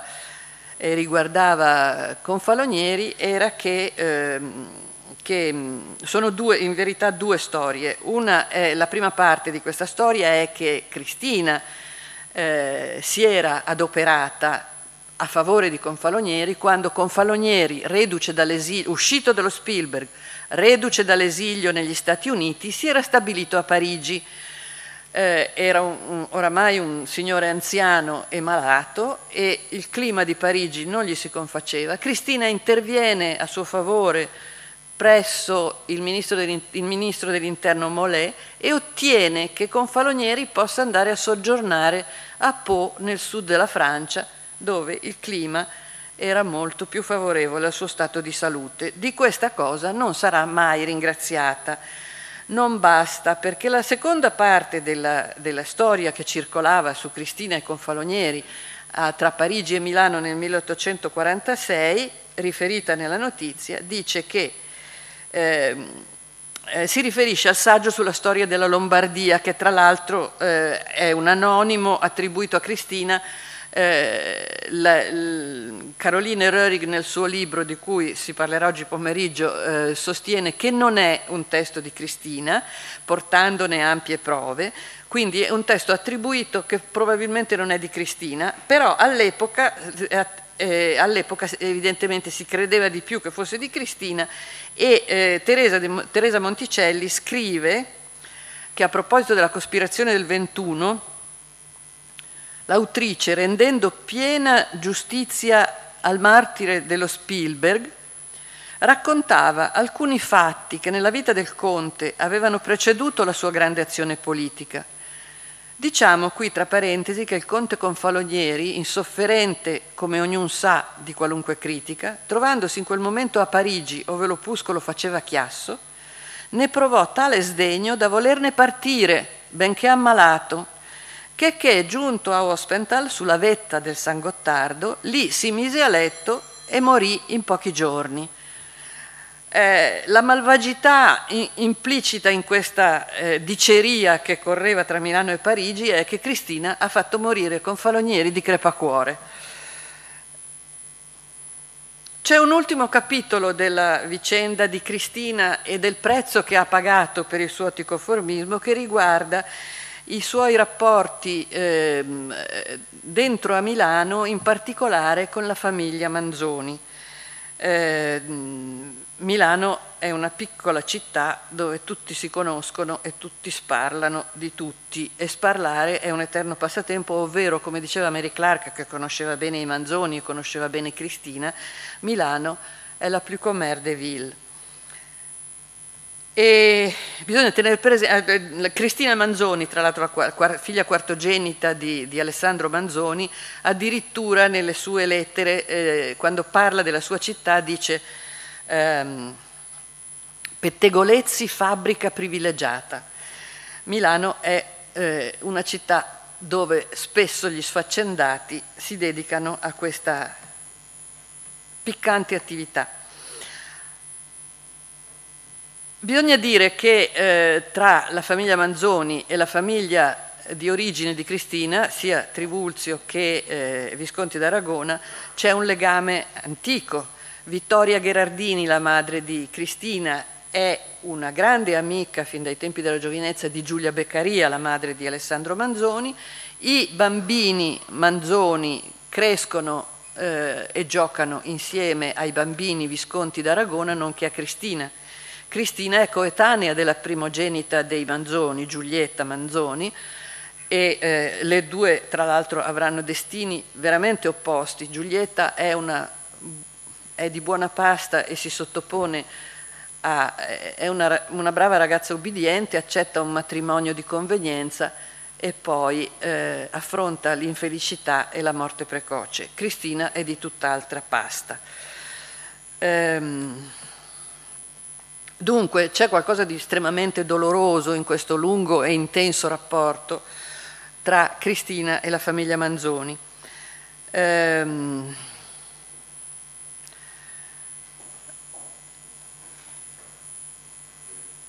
c'è, molto che accomuna eh, Cristina Trivulzio di Belgioioso e Alessandro Manzoni, nonostante che siano due persone di eh, generazioni eh, diverse e di scelte personali estremamente diverse. C'è il liberalismo, il patriottismo, la devozione religiosa, che è una cosa comune, l'appartenenza alla stessa aristocrazia milanese.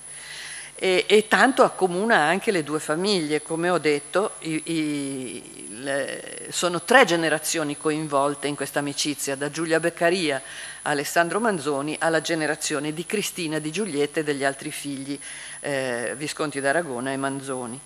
E c'è eh, però, eh, ci sono delle, delle, delle cose molto eh, poco confacenti con la reputazione di, di mitezza e di bontà che, Manzo, che, tutta la famiglia Manzoni effettivamente si merita perché sono, non solo sono devoti ma sono anche gente buona, sono persone buone, eppure Enrichetta Blondel che è il sublime della bontà, della pazienza, del sacrificio di sé, nel 1826, un caso unico nel suo epistolario conosciuto, si lascia andare anche lei a considerazioni piuttosto velenose in una lettera a Costanza Trotti Arconati e esprime la sua più viva disapprovazione per la condotta di Vittoria Gherardini, che è la madre di Cristina, e dice, sembra vivere, un, è un, oramai una donna di mezza età, sembra vivere in una specie di ebbrezza e comincia così tardi a diventare leggera, e poi passa Cristina e dice la figlia sposata, povera giovane, più da compatire, credo, che non si possa immaginare. La sua giovinezza imprudente le ha fatto davvero torto e ora la si crede più leggera di quanto non sia in effetti. Oh mia buona amica, quale lezione per i nostri giovani e spero che non saranno infruttuose per la mia Giulietta. È triste che una buona amica di antica data costituisca un così triste esempio. Mi è difficile pensare che Cristina di Belgioioso sia stata un così triste esempio. Al centro della disapprovazione della famiglia Manzoni verso Cristina campeggia dunque una questione pedagogica. L'anticonformismo è un cattivo esempio per i giovani. Ma invece eh, al centro della disapprovazione di Alessandro Manzoni verso Cristina eh, campeggia, questa è una mia, è una mia eh, opinione, ma è fondata su forti indizi, eh, al centro della disapprovazione verso Cristina sta il sospetto che Cristina sia una pericolosa sovversiva in politica e una eh, accanita peccatrice nella sfera privata. I, I, loro rapporti restano sempre nei limiti della cortesia, poi c'è sempre una vena di affetto forte tra i due, eh, mm, si rispettano. Cristina non manca di esprimere la sua ammirazione rispettosa nei confronti dello scrittore, però arrivano vicini a uno scontro nel momento in cui eh, Cristina a Parigi sta eh, varando il suo giornale L'Ausogno, perché eh, intende pubblicare un testo fino allora sconosciuto al pubblico, che è la lettera sul romanticismo di Alessandro Manzoni a Cesare Tapparelli d'Azeglio, eh, di mh, parecchi anni prima, ma che appunto, ripeto, era sconosciuta al grande pubblico. Era stata fatta circolare, Cristina ne era venuta a conoscenza, la vuole pubblicare sull'Ausonio. Manzoni si irrita e glielo fa sapere. E Cristina si oppone con estremo garbo, adesso io non so se posso leggere che le parole che Cristina risponde, eh, eh, usa per eh, contrastare questo tentativo di veto opposto da Manzoni a un testo che lui considerava suo e considerava una lettera privata. E lei, eh, e lei eh, cerca di spiegargli garbatamente che lui non è in condizione di opporre rifiuti, che non funziona così la libertà di stampa in Francia E poi, eh, e poi, lei osserva che eh, scrive, ella, tanto per natura cortese, se ben ricordo, lo sia anche questa volta, e seppure le duole di acconsentire alle mie istanze, la pensi che la è ancora dei fortunati, perché se il suo è un sacrificio, di pubblicare la lettera, non è un sacrificio buttato via, ma anzi va deposto in un cuore grato e riconoscente che di meglio non desidera fuorché di contrarre se colei uno di cotesti debiti di gratitudine. Se la persiste nel rifiuto, io, rimandando la lettera a chi me la spedì, scriverò che ella vorrebbe opporsi, anzi si oppone per quanto può. Non le dissimulo però, conoscendo il costume della cosiddetta presse parisienne che quella opposizione della sola volontà farà pochissimo effetto, mentre la cosa, la è cosa incontestabile che le lettere appartengono a colui cui vennero dirette e non a chi le scrisse. Ultima, ultima eh, eh, qui Cristina usa, usa eh, il ragionamento per convincere Manzoni e finirà per pubblicare effettivamente sull'Ausonio questa lettera con grande beneficio per i lettori. Noi oggi sappiamo che quella lettera è una specie di manifesto del romanticismo italiano e quindi molto preziosa per la storia della letteratura ma anche per la storia della cultura italiana in generale. Um, Cristina decide in piena autonomia e anche questa è una cosa che a molti non piace, certamente che Manzoni non gradisce. Ultima cosa che vorrei ricordare, ah no, eh, un, un, piccolo dettaglio su, su, come Manzoni considerava un altro aspetto dell'attività di Cristina, cioè i suoi esperimenti sociali filantropici allocate. Eh, e in particolare l'iniziativa di istituire delle scuole. Manzoni diceva, liquidandoli in poche parole, quando tutti sapranno leggere e scrivere, chi vorrà più coltivare la terra?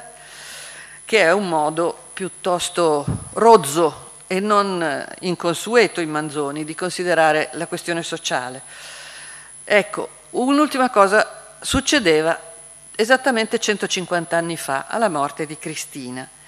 Cristina è sempre stata sollecita, nonostante tutto, delle sorti della famiglia Manzoni, dei terribili lutti e dei patimenti e della terribile condizione di povertà in cui vivevano i Manzoni alla fine della vita dello scrittore, lui, i suoi figli, i nipoti, eccetera.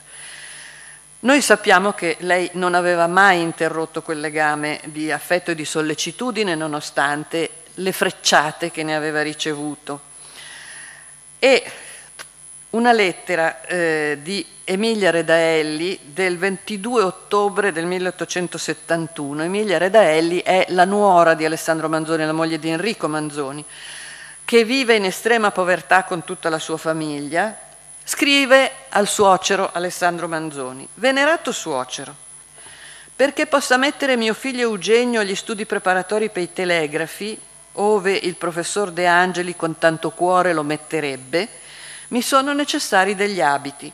E così pure per mio Ludovico. Se la morte non mi avesse tolto la principessa Belgioioso, non mi troverei oggi in tanto doloroso imbarazzo. Allora, Cristina sosteneva la famiglia Manzoni con generosità e senza alcun rancore in nome dell'antica amicizia, ma soprattutto per il suo carattere generoso e altruista. E perché mi viene da dire l'anticonformismo, eh, l'anticonformismo ha un prezzo ma non include la malvagità. E questa credo che sia una lezione eh, che io considero una pennellatina nel complicato e ampio ritratto di Cristina, ma che non dobbiamo dimenticare perché è grazie al suo anticonformismo se noi oggi, eh, donne italiane, possiamo pensarla in questo modo e vivere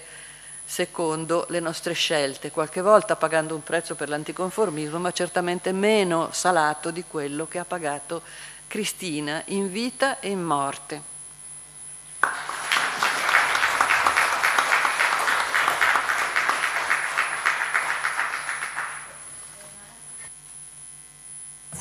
Eccoci. Allora, grazie Marta eh, di questa relazione piena di luci e ombre in cui abbiamo risentito, rivisto un altro Manzoni, la famiglia, abbiamo veramente avuto un quadro molto vivace e interessante. Adesso siamo arrivati alla mostra eh, con Bernardo Falconi che prego di avvicinarsi al computer perché faremo vedere le immagini, del, tutte le immagini della mostra. Bernardo le commenterà da storico dell'arte qual è, ehm, di cui eh, mi pregio della sua amicizia e anche della sua collaborazione da moltissimi anni. Eh, Bernardo ha la capacità di riconoscere gli autori, ve lo dico per esperienza, aprendo una miniatura, come è successo a casa mia, eh, riconoscendo subito chi è rappresentato, chi è l'autore, eccetera, eccetera. Eh, ve lo presento però ufficialmente e vi dico che è uno storico dell'arte accademico dell'Ateneo di Brescia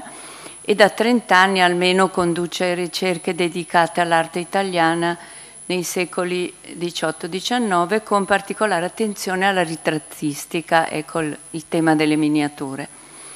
Autore di diversi saggi, di lavori monografici,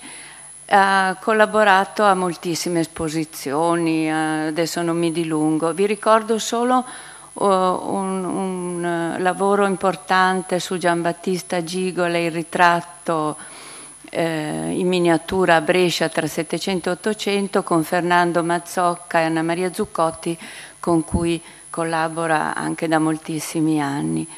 E poi altri libri sempre su Gigola, su Domenico Bossi, un, molto importante anche questo, Faustino Boatti e Luigi Basiletti, e poi sono tutti libri eh, che potete trovare mh, nelle sue pubblicazioni.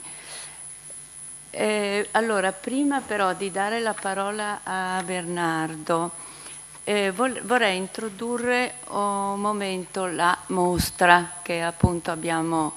preparato e che poi vedrete, di cui sono molto contenta perché non solo è bella, lo sapevo già, ma eh, qui dentro eh, si presenta molto bene. Cioè il, io l'avevo intuito quando con Arianna avevamo visitato il primo piano nobile per vedere se la mostra ci poteva stare ed effettivamente vedrete l'ottimo risultato.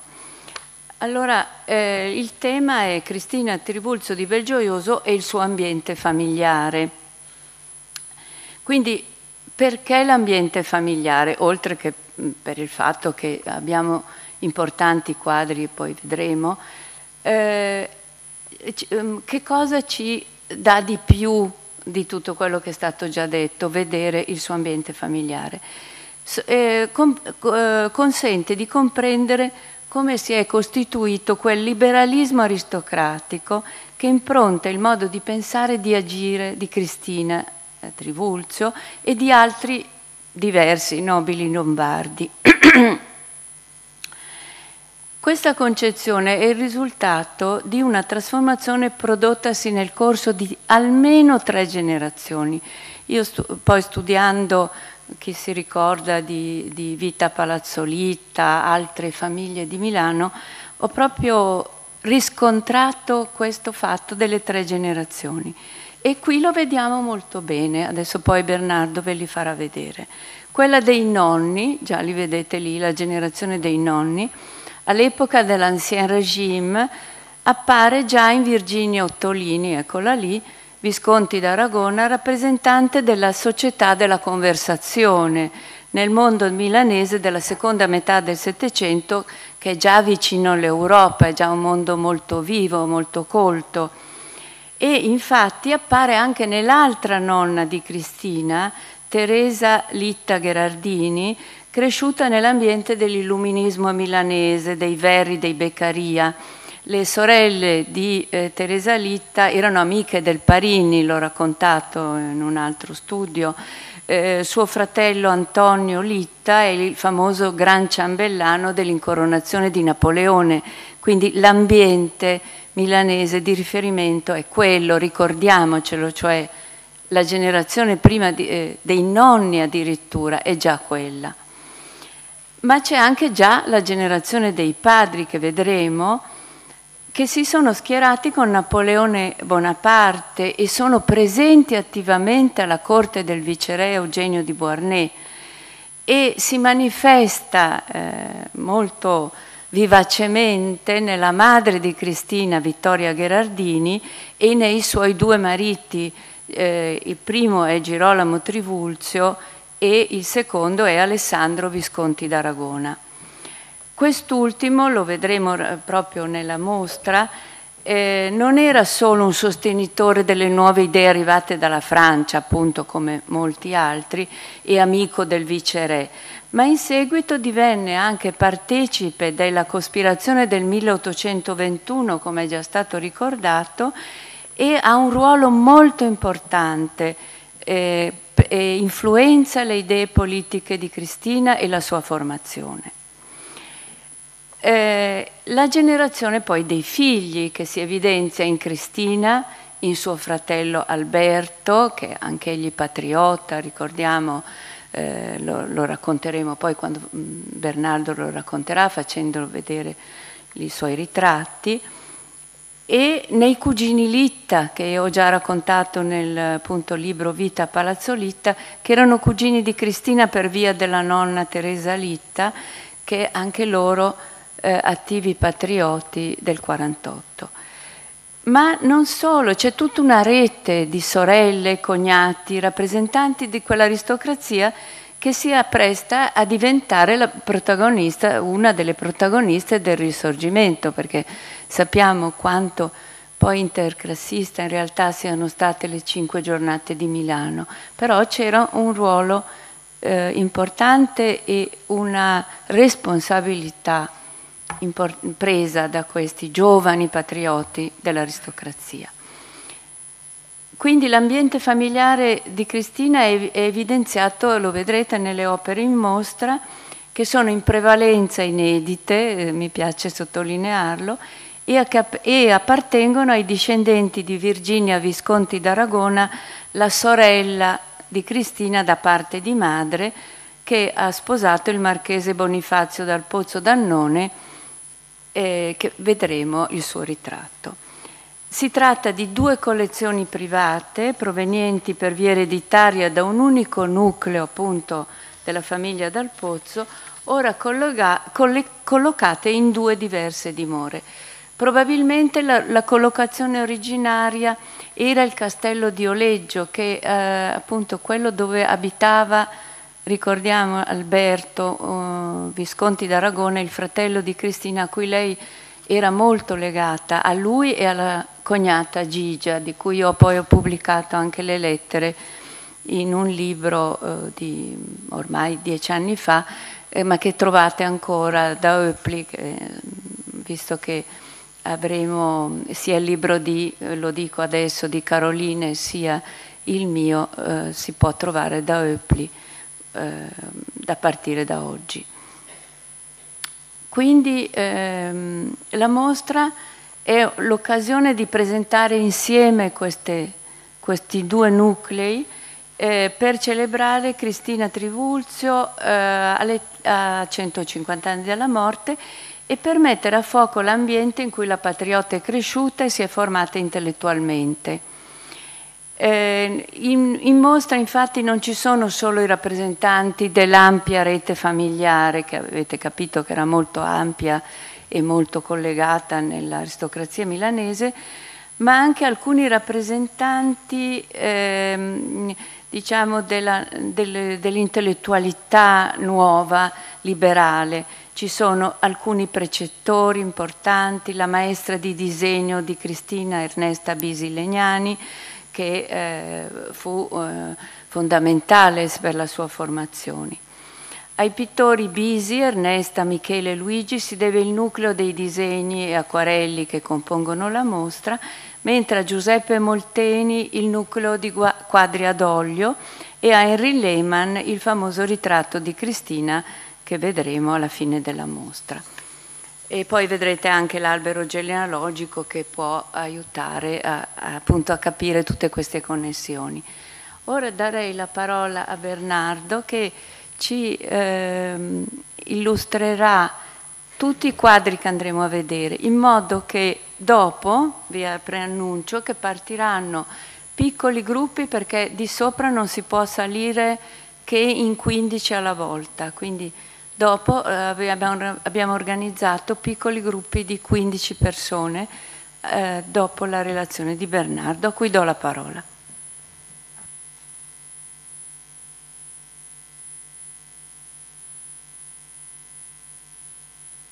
Ecco, ecco. Ringrazio Franca, alla quale sono legato da un ventennale rapporto d'amicizia e di collaborazione, per avermi proposto di presentare assieme questa raffinatissima esposizione da lei ideata, fortissimamente voluta e tenacemente portata a compimento in occasione del 150 anniversario della morte di Cristina Tribulzio di Belgioioso. A me dunque il compito di mostrarvi in anteprima commentandole brevemente, le immagini delle 32 opere in mostra. Si è già accennato, si tratta di un busto in marmo, 10 dipinti a olio e 21 opere su carte. carta, tutte conservate dagli eredi Visconti d'Aragona e per la prima volta in gran parte esposte in questa occasione. Sono scalate in ordine cronologico nell'arco di circa un secolo tra la seconda metà del Settecento e la metà dell'Ottocento. Per un esauriente disamina delle opere rimando alla guida della mostra curata da Franca con la collaborazione di Alessandra Piccinelli, autrice delle schede. Le opere più precoci che vedete qui già proiettate, presenti in mostra, risalgono al tempo della Milano dei Lumi, la Milano di Giuseppe Parini. Accanto alle eleganti effigi ritagliate su uno sfondo di cielo del marchese Serafino Visconti d'Aragona, di sua moglie Virginia Ottolini, genitori di Alessandro, patrigno di Cristina, dipinte olio su tavolo da un ignoto autore, all'epoca del loro matrimonio celebrato nel 1787, sono esposti quattro querelli di straordinario interesse, anch'essi dovuti al pennello di un anonimo autore, che rappresentano in modo un tempo fedele e arguto scene di vita quotidiana casa, nella casa dei due giovani sposi, che se da un lato rimandano alla grande tradizione della pittura della realtà in Lombardia, dall'altro richiamano le celebri scene di vita quotidiana della società veneziana di quel tempo immortalate da Pietro Longhi. La prima in particolare ambientata nella Camera degli Sposi, intenti a fare a letto la loro prima colazione con cioccolate in tazza e biscotti, evoca il risveglio del giovin signore nel mattino di Parini, dato le stampe a Milano nel 1763.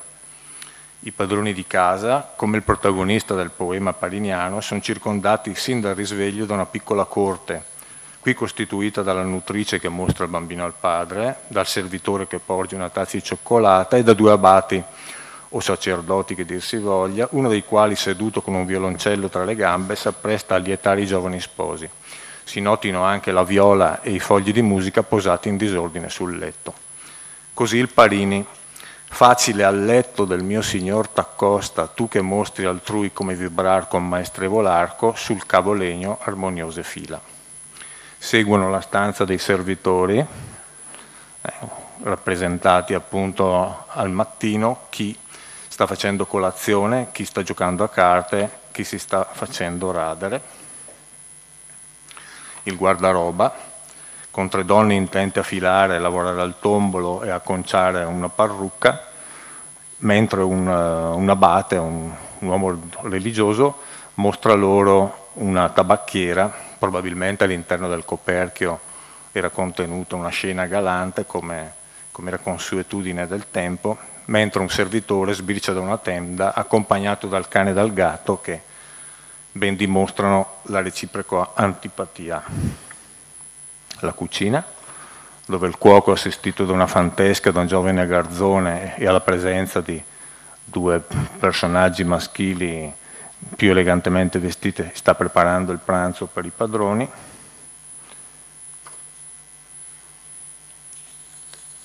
E eh, il busto che vedete mm, proiettato in questo momento ci rappresenta l'epoca eh, napoleonica. Passiamo dalla Milano del, di Parini facendo un grande salto, saltando cioè la, la Milano della Repubblica Cisalpina e della Repubblica Italiana, per approdare alla Milano del Regno Italico, la Milano napoleonica. Il busto che qui vedete proiettato è un ritratto giovanile di Vittoria Gherardini, eh, moglie del, di, del, del marchese Girolamo Girolamo Trivulzio, realizzato poco dopo il suo matrimonio celebrato nel 1806. Questo busto tra era tradizionalmente attribuito in, nella famiglia dei discendenti visconti d'Aragona al, al fiorentino Lorenzo Bartolini e per tradizione avrebbe eh, rappresentato la marchese Cristina Cicogna, madre del marito. In realtà, come è stato sottolineato a suo tempo eh, da Fernando Mazzocca, questo busto che è raffigurato in profilo nel celebre ritratto di Cristina Belgioioso di Hayez fu eseguito dal romano Camillo Pacetti, che divenne direttore della scuola di scultura dell'Accademia di Brera grazie ai buoni uffici di Antonio Canova, e raffigura appunto la, la giovane sposa eh, Vittoria Gradini, madre di Cristina. Infatti in una nota autografa di Pacetti vengono elencati tre busti eseguiti per Casa Trivulzio a partire dal 1807 che raffiguravano il marito Girolamo Trivulzio, busto adesso conservato nelle raccolte Castello di Masino, il ritratto della moglie che qui vedete proiettato, esposto per la prima volta in questa occasione, e anche il ritratto in effetti della madre del marchese Trivulzio, Cristina Cicogna, ma che è un busto disperso. Siccome la nota di Pacetti è datata dal 1807, come ben potete immaginare, in, quest, in quest'epoca eh, Vittoria eh, era, era, giovanissima, aveva 17 anni, eh, mentre la madre aveva già ormai passato la cinquantina, quindi non ci sono dubbi sull'identità della, della, ritrattata. Il ritratto di Hayez, eh, a cui ho accennato poc'anzi, realizzato tra il 1830 e il 1831, non è qui esposto ma è opportunamente riprodotto in catalogo e degnamente surrogato in mostra, come si vedrà, da un delizioso acquerello da prima. Non esposto in mostra, ma riprodotto in catalogo, è anche il magnifico tableau conservato anch'esso nel castello di Masino, con i ritratti in miniatura dei quattro fratelli Trivulzio, dipinti in, dipinti in quella stessa epoca da quello che fu il più grande ritrattista in miniatura della Milano napoleonica, il bresciano Giambattista Gigola raffigurati in queste quattro miniature sono, partendo dall'alto in senso orario, Teodoro Alessandro, ministro della guerra della Repubblica Italiana, dal 1802 al 5, anno della sua morte, la sorella Margherita, colta in atteggiamento assorto, poggiata a un plinto davanti a una quinta arborea, Girolamo, padre di Cristina, in basso a destra, ciambellano del viceré Eugenio de Beauharnais, raffigurato in mesto colloquio con il busto del padre Giorgio Teodoro, morto nel 1802, e Gian Giacomo, grande collezionista e bibliofilo. bibliofilo. Giambattista Gigola, autore di queste miniature, divenne nel 1806 ritrattista ufficiale del viceré d'Italia Eugenio de Beauharnais e, e, e raffigurò il, il principe e la moglie, la principessa Maria Augusta di Baviera in diverse miniature su avorio di vario formato e i primi quattro figli nati dal matrimonio. Al momento delle, della caduta del, del, Regno Italico, nell'aprile 1814, eh, i coniugi Beauharnais raggiunsero, raggiunsero, Vienna, dove furono raffigurati in due ritratti ufficiali da, dal, dal, pittore più importante allora attivo per la corte di Monaco, eh, eh, Joseph Stiller, ehm, dal quale eh, sono stati tratti questi due piccoli ritratti a olio conservati appunto dagli eredi Visconti d'Aragona eh, che riproducono fedelmente i due ritratti ufficiali con un'unica variante molto interessante eh, nello sfondo del ritratto di Amalia Augusta dove è stato aggiunto questo sfondo di giardino che nell'originale non c'è, un ritrattino dello stesso formato ma con fondo unito è conservato nelle raccolte della Malmaison.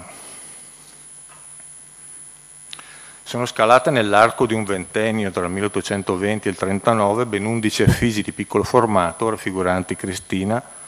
la madre Vittoria, i suoi quattro figli di secondo letto, Alberto, Virginia, Teresa e Giulia, alcuni precettori e amministratori di Casa Visconti d'Aragona, disegnati a matita, matite colorate o acquarelli a gouache su carta da Ernesta Bisi, divenuta moglie, nel, pardon, Ernesta Legnani, divenuta moglie nel 1811 del pittore vedutista Giuseppe Bisi. Annoverata tra le glorie milanesi da Carlo Porta e ricordata con parole di stima da Francesco Hayez, Ernesta aveva frequentato, assieme al futuro cognato Michele Bisi, la scuola di incisione d'Accademia di Brera diretta da Giuseppe Longhi, specializzandosi nel ritratto di piccolo formato il merito di aver contribuito fortemente a divulgare un genere che godette grande fortuna fino alla metà dell'Ottocento, in particolare il ritratto dell'acquarello, gli veniva riconosciuto dalla critica del tempo. Fra tanti illustri concittadini con cui fu in stretti rapporti che furono degli immortalati, basta qui citare a titolo d'esempio tra l'altro si trattava di esponenti di spicco della società liberale della Milano romantica, Francesco Aiez, Carlo Cattaneo, Tullio Dandolo, Alessandro Manzoni e i suoi familiari, Gian Domenico Romagnosi, Hermes Visconti e Cristina Trivulzio, che della Bisi fu allieva e affezionata amica, venendo da lei iniziata agli ideali patriottici. In una lettera indirizzata a Franz Liszt, il 19 gennaio 1838 Cristina tracciava un toccante ritratto dell'artista da lei definita buona, amabile, spirituale, originale, semplice, naturale, pia, indulgente e caritatevole. Per lei una seconda madre, una sorella maggiore. Ecco dunque allineati in questo piccolo pantheon familiare di casa Visconti d'Aragona, dovuto alle matite e ai pennelli di Ernesta Bisi, il ritratto del fratello Alberto con due precettori, su due diversi fogli sei, pre, sei, precettori o amministratori di casa, non ci sono iscrizioni quindi non conosciamo l'identità di questi signori. Cristina al centro, raffigurata al centro in questo triplo ritratto affiancata, affiancata dalle sorelle Virginia e Teresa, il fratello Alberto, l'unico maschio della sua generazione e ultimo maschio della, di casa Visconti d'Aragona, i quattro fratelli di Cristina, figli di secondo letto della madre, in questo ritratto di gruppo. Ecco, vedete, tutti questi ritratti sono realizzati a matita e a matite colorate, non all'acquerello. E poi in questo tableau con cinque ritratti di casa Visconti d'Aragona sono invece eh, incorniciati eh, ritratti eh, realizzati con, tec con, tecnica mista. Al centro la sorella Virginia e partendo dall'alto a sinistra in senso orario il fratello Alberto, la madre Vittoria, la sorella Teresa e, del, e il marito di Virginia, Bonifazio dal Pozzo d'Annone, datato al 1835. Accanto ai ritratti di più brevi misure eseguiti da Ernesta Bisi, esposta questa incantevole scena di conversazione, eseguita magistralmente da acquarello a colori su un foglio di ampio formato dal cognato di Ernesta, Michele Bisi, distintosi assieme a lei a Camilla Guiscardi, una delle migliori allieve di Ernesta, quale indiscusso specialista del ritratto all'acquarello nella Milano romantica. Nella rasserenante bellezza di un giardino verosimilmente identificabile nel parco del castello di Oleggio, luogo di villeggiatura della famiglia Visconti d'Aragone, sono rappresentate in primo piano a tutta figura le tre sorelle di Cristina, Teresa, Virginia e Giulia, che stanno giocando a cerchietti. La foggia delle ariose tuniche estive strette in vita, indossate sopra comodi calzoni e le elaborate pettinature della disinvolta Virginia intenta appunto a giocare a cerchietti e della riservata Teresa che trattiene a sé con gesto affettuoso la piccola Giulia datano all'opera intorno al 1830. Se Ernesta e Michele Bisi furono, fissarono le sembianze di Cristina e dei suoi familiari, fu un altro esponente della famiglia Bisi, Luigi, figlio di Michele, a ricevere nel 1832, quando contava solamente 18 anni, il compito di rappresentare dall'acquerello con la precisione analitica del pittore prospettico quattro sontuosi ambienti della dimora milanese dove Vittoria Visconti d'Aragone, madre di Cristina, risultava già risiedere nel 1811, situata al numero 747 dell'allora via Isara, oggi via Palestro. In un elenco circostanziato delle opere di Luigi Bisi allegato al suo necrologio comparso negli atti dell'Accademia di Brera per l'anno 1886 compaiono infatti anche quattro acquerelli rappresentanti l'appartamento della Marchesa Visconti d'Aragona datati al 1832. Il piccolo raffinatissimo ambiente rappresentato nel primo dei quattro acquarelli, è tradizionalmente identificato con il gabinetto di toilette e la principessa Cristina Belgioioso Trivulzio. Tra gli arredi della stanza spicca in bella evidenza sulla specchiera sovrastante il, comino, il camino un busto mulliebre all'antica col capo velato, che va verosimilmente identificato con il disperso ritratto di Cristina Trivulzio nata Ciconia, ava paterna di Cristina, scolpito come si è visto dal romano Camillo Pacetti. Il secondo acquarello rappresenta un salotto pieno di luce che si affaccia attraverso una grande porta finestra sulla verzura di un giardino dove biancheggia una statua. L'aggiornatissimo arredo in stile Luigi Filippo è completato da un pianoforte e alcuni ritratti di famiglie di piccolo formato nei quali vorremmo riconoscere alcune delle opere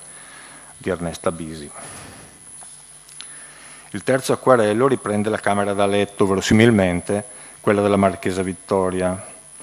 Agli elementi d'arredo ancora di gusto impero sono accostate quattro grandi stampe per noi di grande interesse, dove si riconoscono alcuni dei più celebri soggetti destinati a propagandare dopo la rivoluzione del luglio 1830 a Parigi il mito napoleonico. Nell'ordine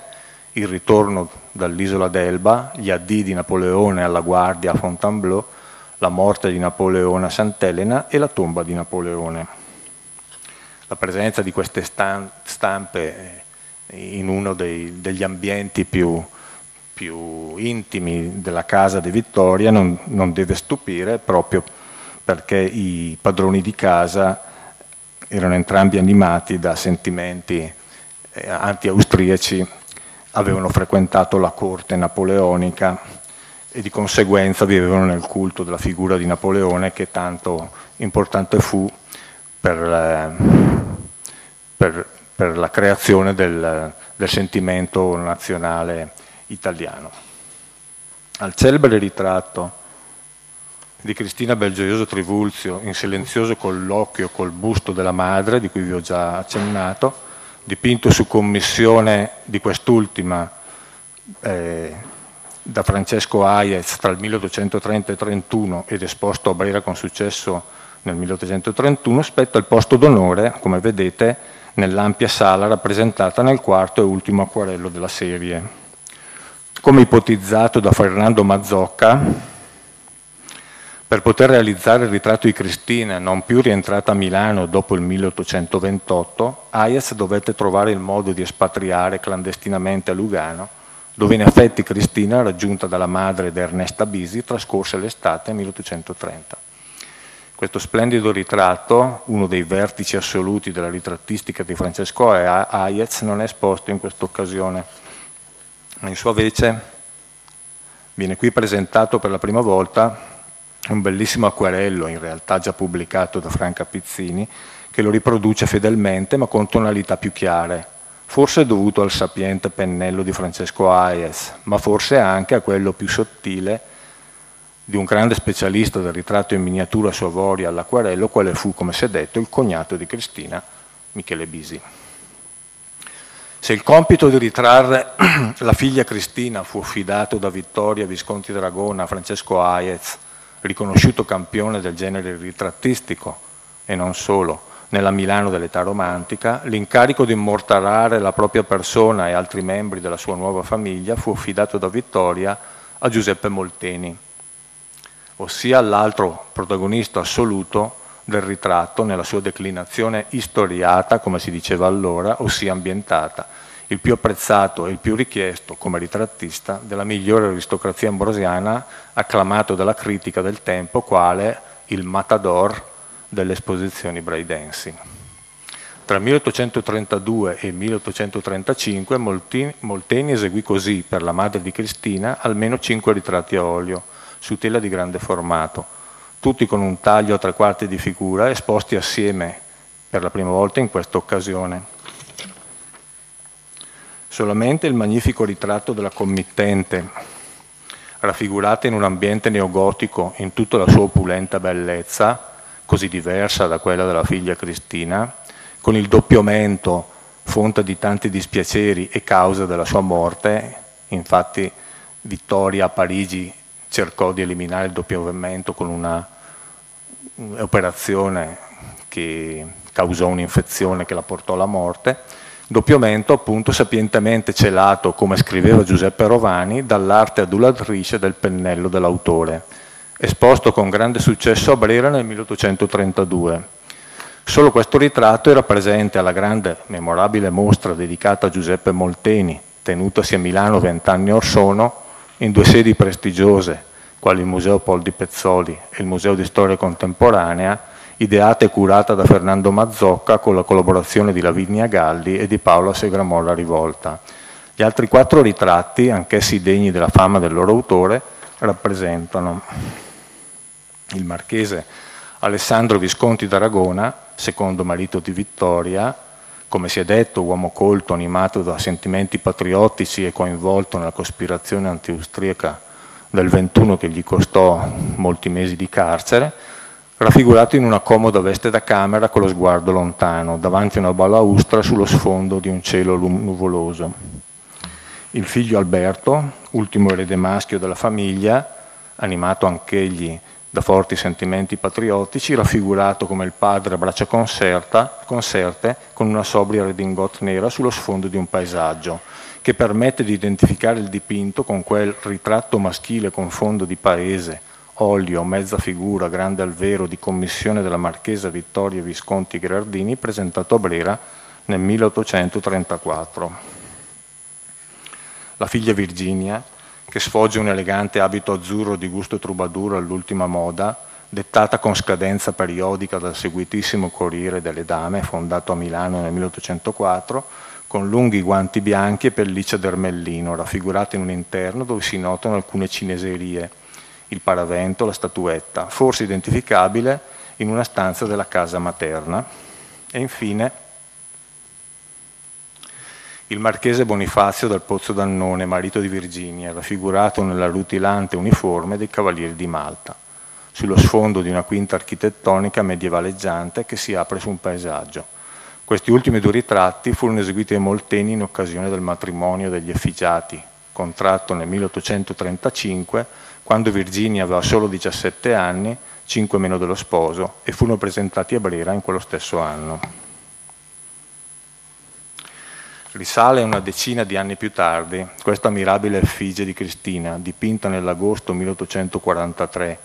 nella villa di sua proprietà a Port-Marly, a una decina di chilometri da Versailles, dal pittore tedesco naturalizzato francese Henri Le Mans uno dei migliori allievi di Angre, che chiude nel migliore dei modi il percorso espositivo della mostra. Quel vulcanico scrittore di cose milanesi dell'Ottocento che fu Raffaello Barbiera, il quale tante pagine appassionate dedicò a Cristina Belgioioso nei suoi piacevolissimi libri densi di informazioni e di aneddoti, così descriveva questo memorabile ritratto del fascino lunare, un poco inquietante, dominato dallo sguardo magnetico dell'effigiata rivolto allo spettatore. Cristina Belgioioso è seduta sul ricco sgabello. Ha una larga veste bianca dalle rigide pieghe che le ricadono dalle spalle avvolgendola quasi in un peplo di sacerdotessa druidica. Il volto ovale, incorniciato dai capelli neri, lisci, pallido d'un pallor di morte, è rivolto a noi e quei due grandi occhi neri sembra che vogliano scrutarci per ristrappare il nostro segreto. Quel ritratto illumina tutta una parete col suo chiaror di fantasma dominatore. Grazie.